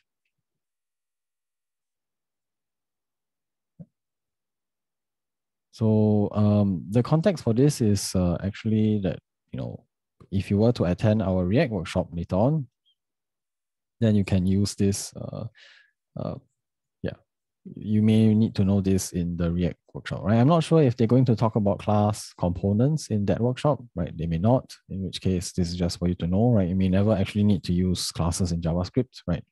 Because nowadays even React is moving away from class components and just using functions instead? Um, functional components. So, um, but you know, it's good to know. All right. Um, what is the advantage of JavaScript over TypeScript? Uh, you don't need a compiler, I guess, right? Uh, what is the advantage of TypeScript over JavaScript? TypeScript provides you a type system, right? Um, that you know uh, prevents a lot of weird things from, uh, as in, checks a lot of things for you at compile time, right? Um, and that will prevent a lot of bugs at runtime, right? It's the general argument for having a runtime, uh, a type system, a static type system, right?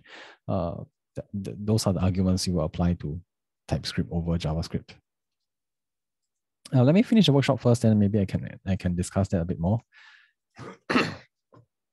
okay, um, so the last part of this workshop is on asynchronous programming. So we're going to talk about um, yeah promises, uh, the event loop, as well as um, async await, right? uh, last part, there's not many slides, right? So um, the first thing I want to introduce is this thing called set timeout, right? Um, just for the sake of discussion, right? Uh, because this is technically not part of JavaScript, it's actually part of the web, um, you know, web uh, functions or APIs, right? Uh, it's not really part of JavaScript, but since we are using a browser environment, right, we can use it. So what does this do, right? You can call set timeout and um, you can see that we pass in a function here, right? And here, this is uh, 1000 milliseconds. So after one second, then this function that we pass in will be called. And you can see there is a short delay, right? Press run 1000 and it prints the, then this function is called and we print hello. So how does this work, right? If I put another line here,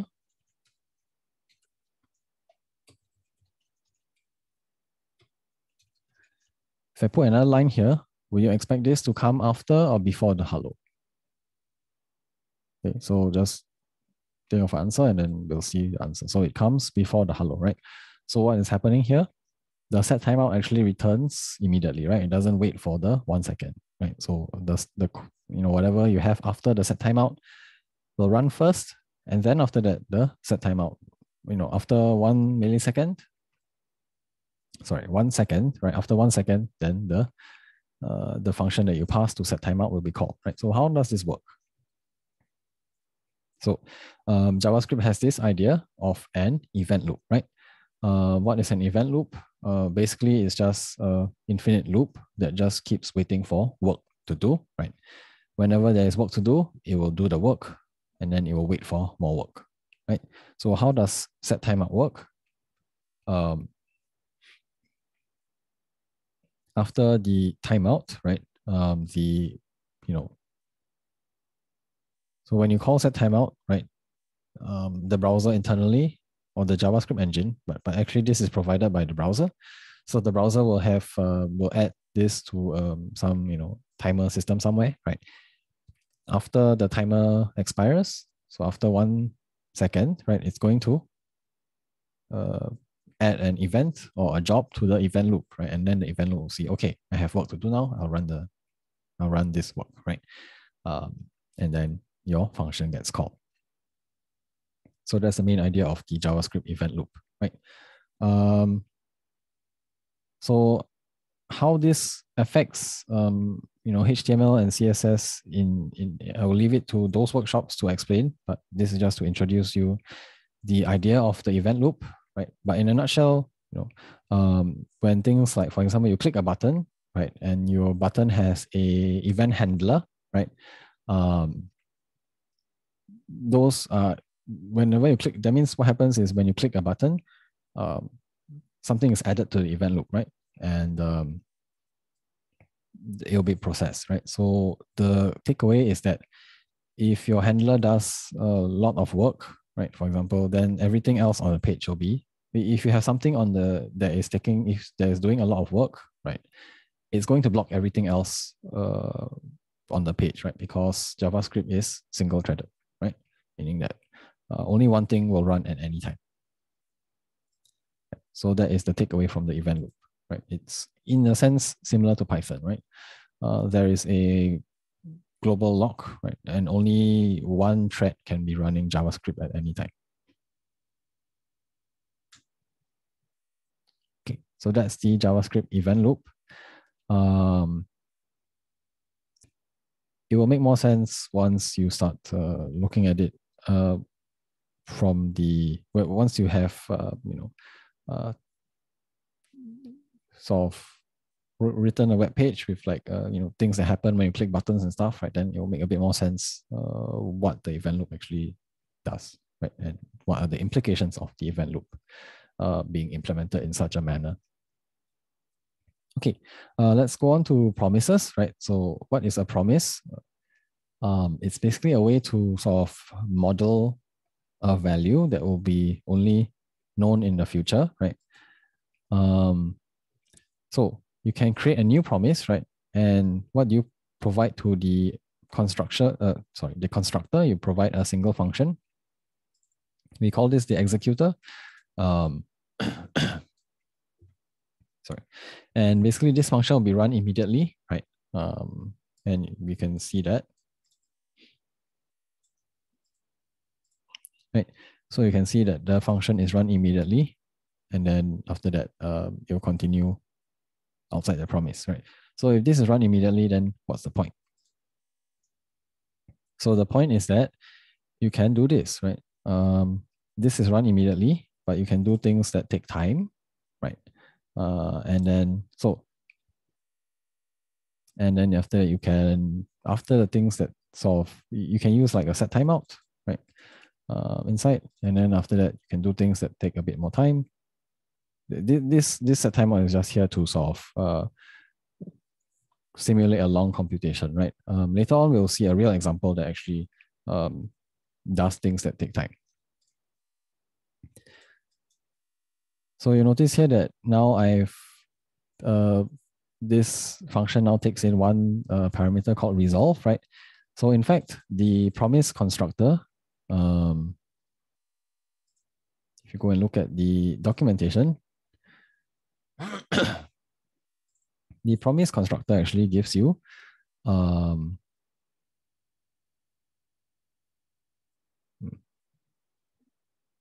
where is the documentation of that? Well, the promise constructor actually gives you two uh, functions, right? Um, it gives you a resolve function. That means the promise uh, has completed, right? And it gives you a reject function. So um, the reject function means that an error has happened, so the promise has failed, right? So when you call the resolve function, right, um, you can pass in some uh, result, right? And what will happen is um, the promise will become completed, right? So then what, what's the use of a promise completing? You can have this then, right?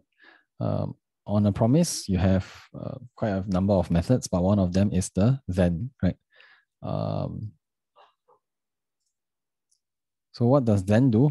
It just lets you put in more work to do after a promise is done. So let's say that means what we're saying is uh, once this promise is done, we will take the result of that promise and then do more work with that, you know. Right. So um, it's possible for you to uh, chain lots of work to do, right? So um, over here, you could you could start more work that um, you know results in a new promise, and you can return that promise from this function, right? And when you return that promise from this function, then um, you you know process that work, and then you can come back here, and you can do then again and again. So you know you can chain work to do after a promise is done, right? Um,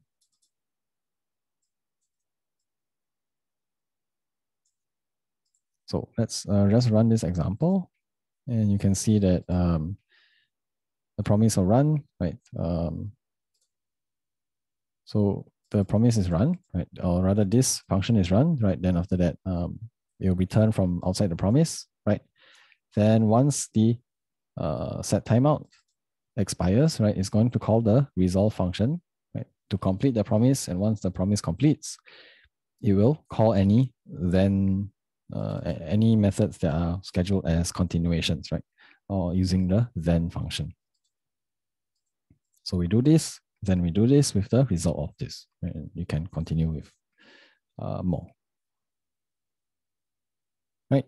And um, so as I mentioned, you can have a reject uh, or the promise constructor passes you a reject function as well, right? And so if an error happens, you can uh, reject the promise and meaning that the promise has failed, right? And again, we can run this and uh, you will see that uh, yeah. So after one second, we will reject the promise, right? And um, we'll get an error. Okay, so so far this has been uh, has been sort of contrived examples, right? Um, let's go on to a real example. So what is fetch, right? Um, you can look up what fetch does. You can look up all the things that fetch can, uh, all, all the different uh, uh, options that you can provide to fetch, right? But um, the main thing about fetch is that it uh, fetches data, right, from um, a URL, right? So fetch is a, what fetch returns you is a promise, right? A promise that uh, resolves to the data or rather the response, right? Um, and you can see here, like I was mentioning just now, you can do more work, right? So fetch will return you a promise of a response. That so it will return that promise when the connection is uh, uh, established with the server, right?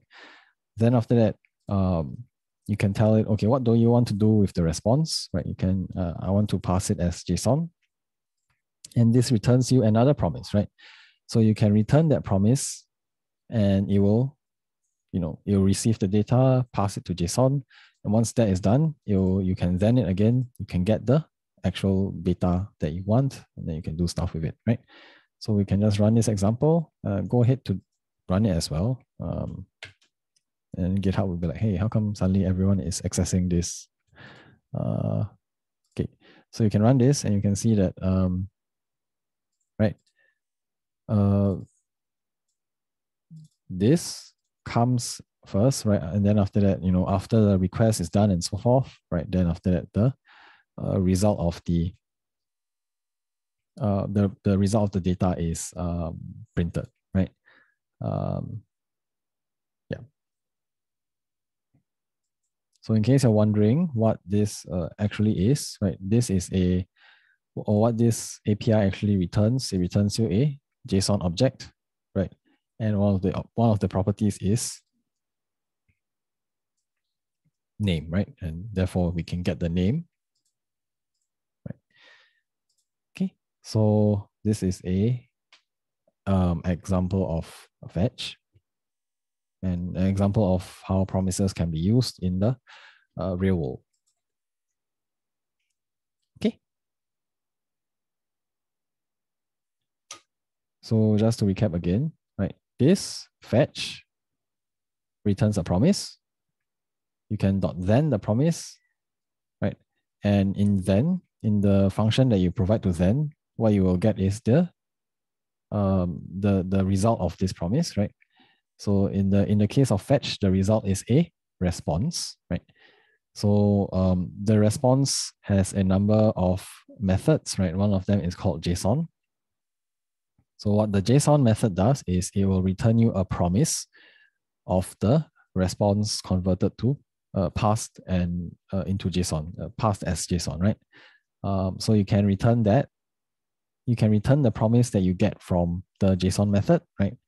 And you can then chain it again with another then. And now this then will receive the result of this promise, right? This promise here, right? And then after that, um, you can do whatever you want with the result, right? And this this last method here doesn't return anything. So there is so there is no um yeah. So then the chain ends there, right? And again, you will see that this fetch uh this fetch is sort of happens asynchronously. So we start the fetch and then uh, whatever happens after this happens first. And then after all these uh, responses happen after the fetch completes. Okay. Now, the thing is, this is okay, right? It's not as bad as like the callback, um, you know, the, the, the nested callbacks that people had in the past? Um, don't have an example, but um, you know, this was a lot more. This was a lot messier to write in the past because instead of being able to then like this, you would have to like provide a callback, uh, kind of like the set timeout, right? And then within that callback, you may provide a second callback and third callback, fourth callback, right? Um, yeah, so you have nested callbacks, right? And it's very ugly, right? So then people came out of this, uh, uh, what do you call that? Promises, or the, people came up with libraries that look like these promises, right? To make it slightly cleaner. Um, but this is still not the not ideal because it still doesn't look like normal code, right? It, it, it's still a bit special, right? You still have to use this then and then you have functions here and there, right? Why can't we write it like normal code? So that's where a async await comes in, right? Um, so you have a async await, right? So uh, we go back to the contrive example using set timeout, right? Um, now I have a function here that returns a promise, and after you know Okay, I, I this should be ms, but yeah. So after ms uh, milliseconds, it will just call the resolve function that will complete the promise, right? So over here, now you notice we have async, right? This is a keyword that you can put before the function keyword, right? And that will make it an async function. So what can you do in an async function? You can await promises, right? So what will what does it do? What, what happens when you await and promise?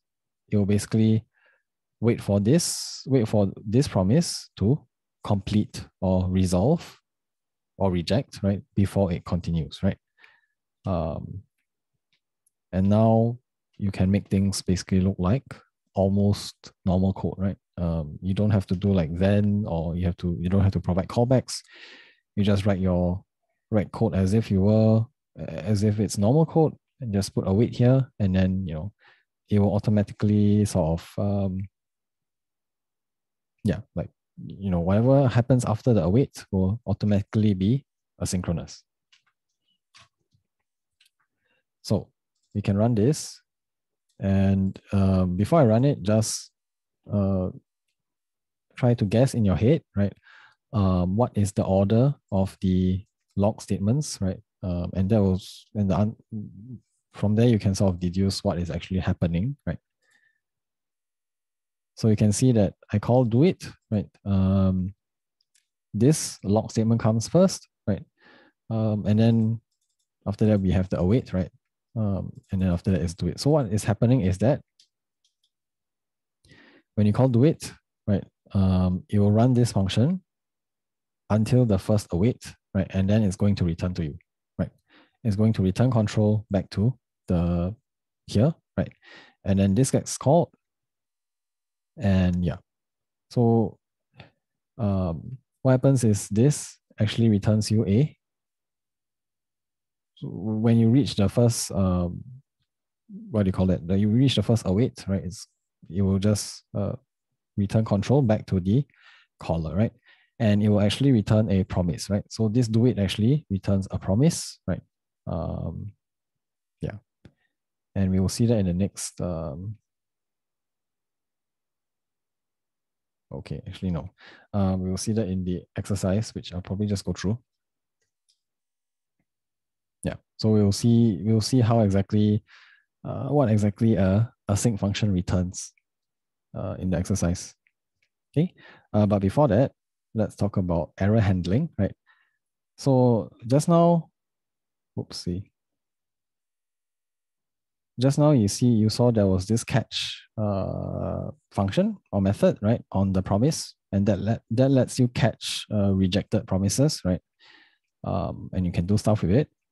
But if you're using async await, right, what happens to um, what happens to rejected promises? You will use the try catch, right? So it really looks like normal code, right? Um, so now we just changed our uh, do work uh, here. So instead of returning, instead of resolving, we just reject, right? And uh, again, we can see what happens. So okay, me.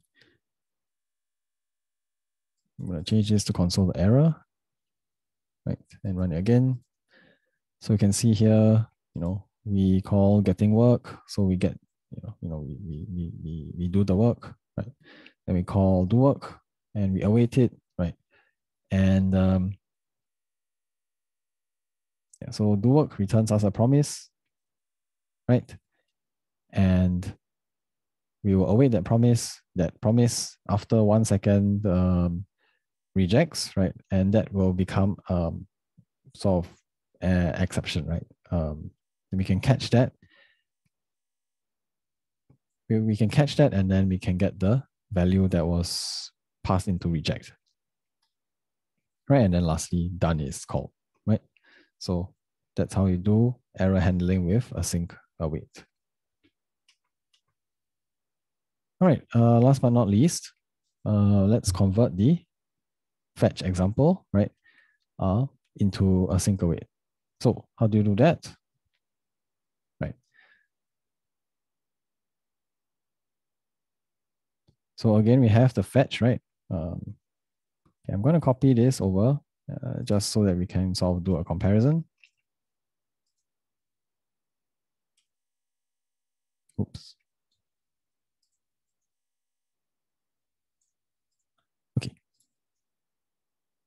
So again, here we have the fetch, right? Uh, I, I made this a more general function instead so that, um, you know, it looks a bit more like a real world thing, right? So maybe we can have a function called get organization name, right? And uh, you take in a name, right? So then the first thing you do is to call fetch, right, with the URL, and then you will await. Uh, you will await the function, right? Sorry, you await the promise from fetch, right?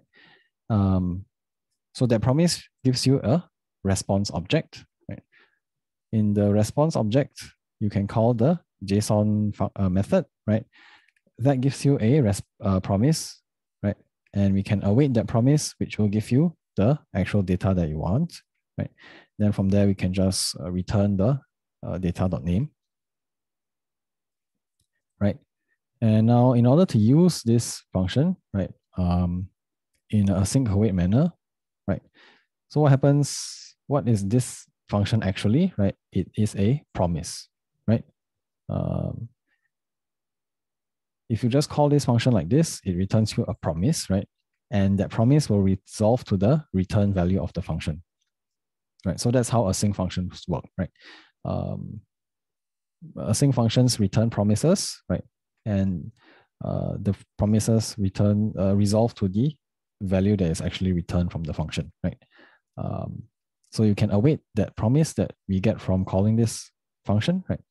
And once you await that, you know, uh, we'll just get the name, right? And then we can just log it, right? And then over here, we can just call the async function. Uh, if we're not, you know, if we just do this and we just call the uh, async function um, without await, right? Uh, then, you know, the function will just do its stuff, right? And then um, we, but we don't care about the return value, right? Yeah. So if you call fetch without await, then you just get a promise. Lah. Fetch will still, uh, you know, fetch will still do all the stuff in the background. It's just that you you you have the promise there. Um, you can't you, you can use then on it, right? Or you can await it, right? Uh, but if you just call fetch, what you get is a promise.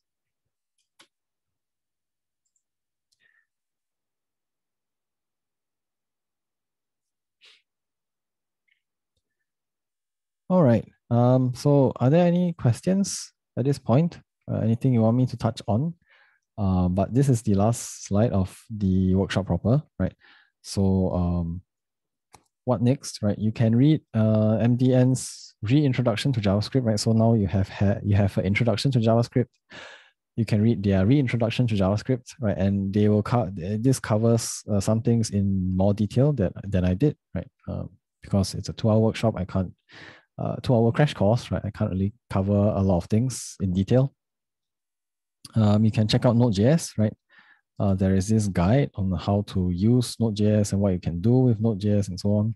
Um, and you can be sure to join our HTML, CSS, and React workshops right in the next two weeks. And with this workshop giving you an overview of JavaScript, and then the next two workshops giving you uh, an introduction to you know web technologies. I mean, JavaScript is also web technology, but uh, it's just one part of the web uh, stack, I guess, right? So you can join the um, HTML, CSS workshop next week, as well as the React workshop in the next uh, two weeks from now, right? And with that, you should be able to create your own, you know, web apps, right? And whatever you want, right? Literally start your own startup because everything is um, built on JS on and on the web nowadays. What are the most common users of asynchronous JS? Uh, everything. Basically, everything is asynchronous nowadays. Like, uh, see, even fetch, right? Fetch is asynchronous, right? You shouldn't use uh, XML HTTP requests anymore. You should really be using fetch. And then if you use fetch, then you will be using uh, you can, I mean, you don't have to use async await. You can still stick with the old, you know, promises and then, but it's very ugly, right? Um, so then you might just prefer to use fetch instead. Uh, you might just prefer to use async await instead, right? It's a lot cleaner, and in JavaScript you get it for free, kind of, right? Um, if you come from Python, Python also has promises and async await, but I think Python's implementation wasn't as nice as it's a lot more it's slightly more complicated than JavaScript's implementation uh, in terms of the user's uh, perspective. Yeah, unfortunately. So in JavaScript, it's quite, I think it's quite nice. They have a nice implementation of async await, right? Uh, for example, here, you can just call an async function and it will, you know, run. It will actually the work will actually be completed, right? Um, and this is different from other languages where if you just call a async function uh, without doing anything special, right, then nothing actually happens. Um, but anyway, back to your question, right? I literally everything, like uh, everything nowadays is is is done like anything that you know needs to access stuff over the network or you know um, or if you're in node.js like um, you're accessing the disk or you know whatever it is right? Everything will be done using i mean node.js is itself asynchronous right? Uh, it's just it doesn't it, it wasn't created with async await um, but you can all the, all the node.js uh, functions can be converted into uh, promises right? And then after that you can use it with async await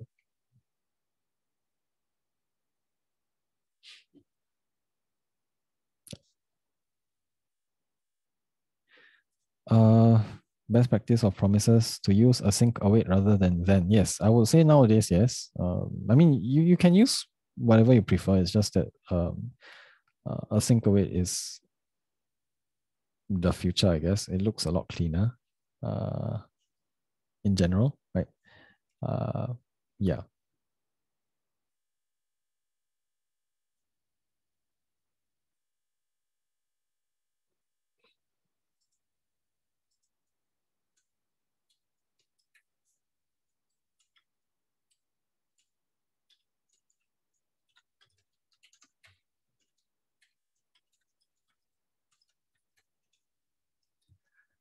All right. So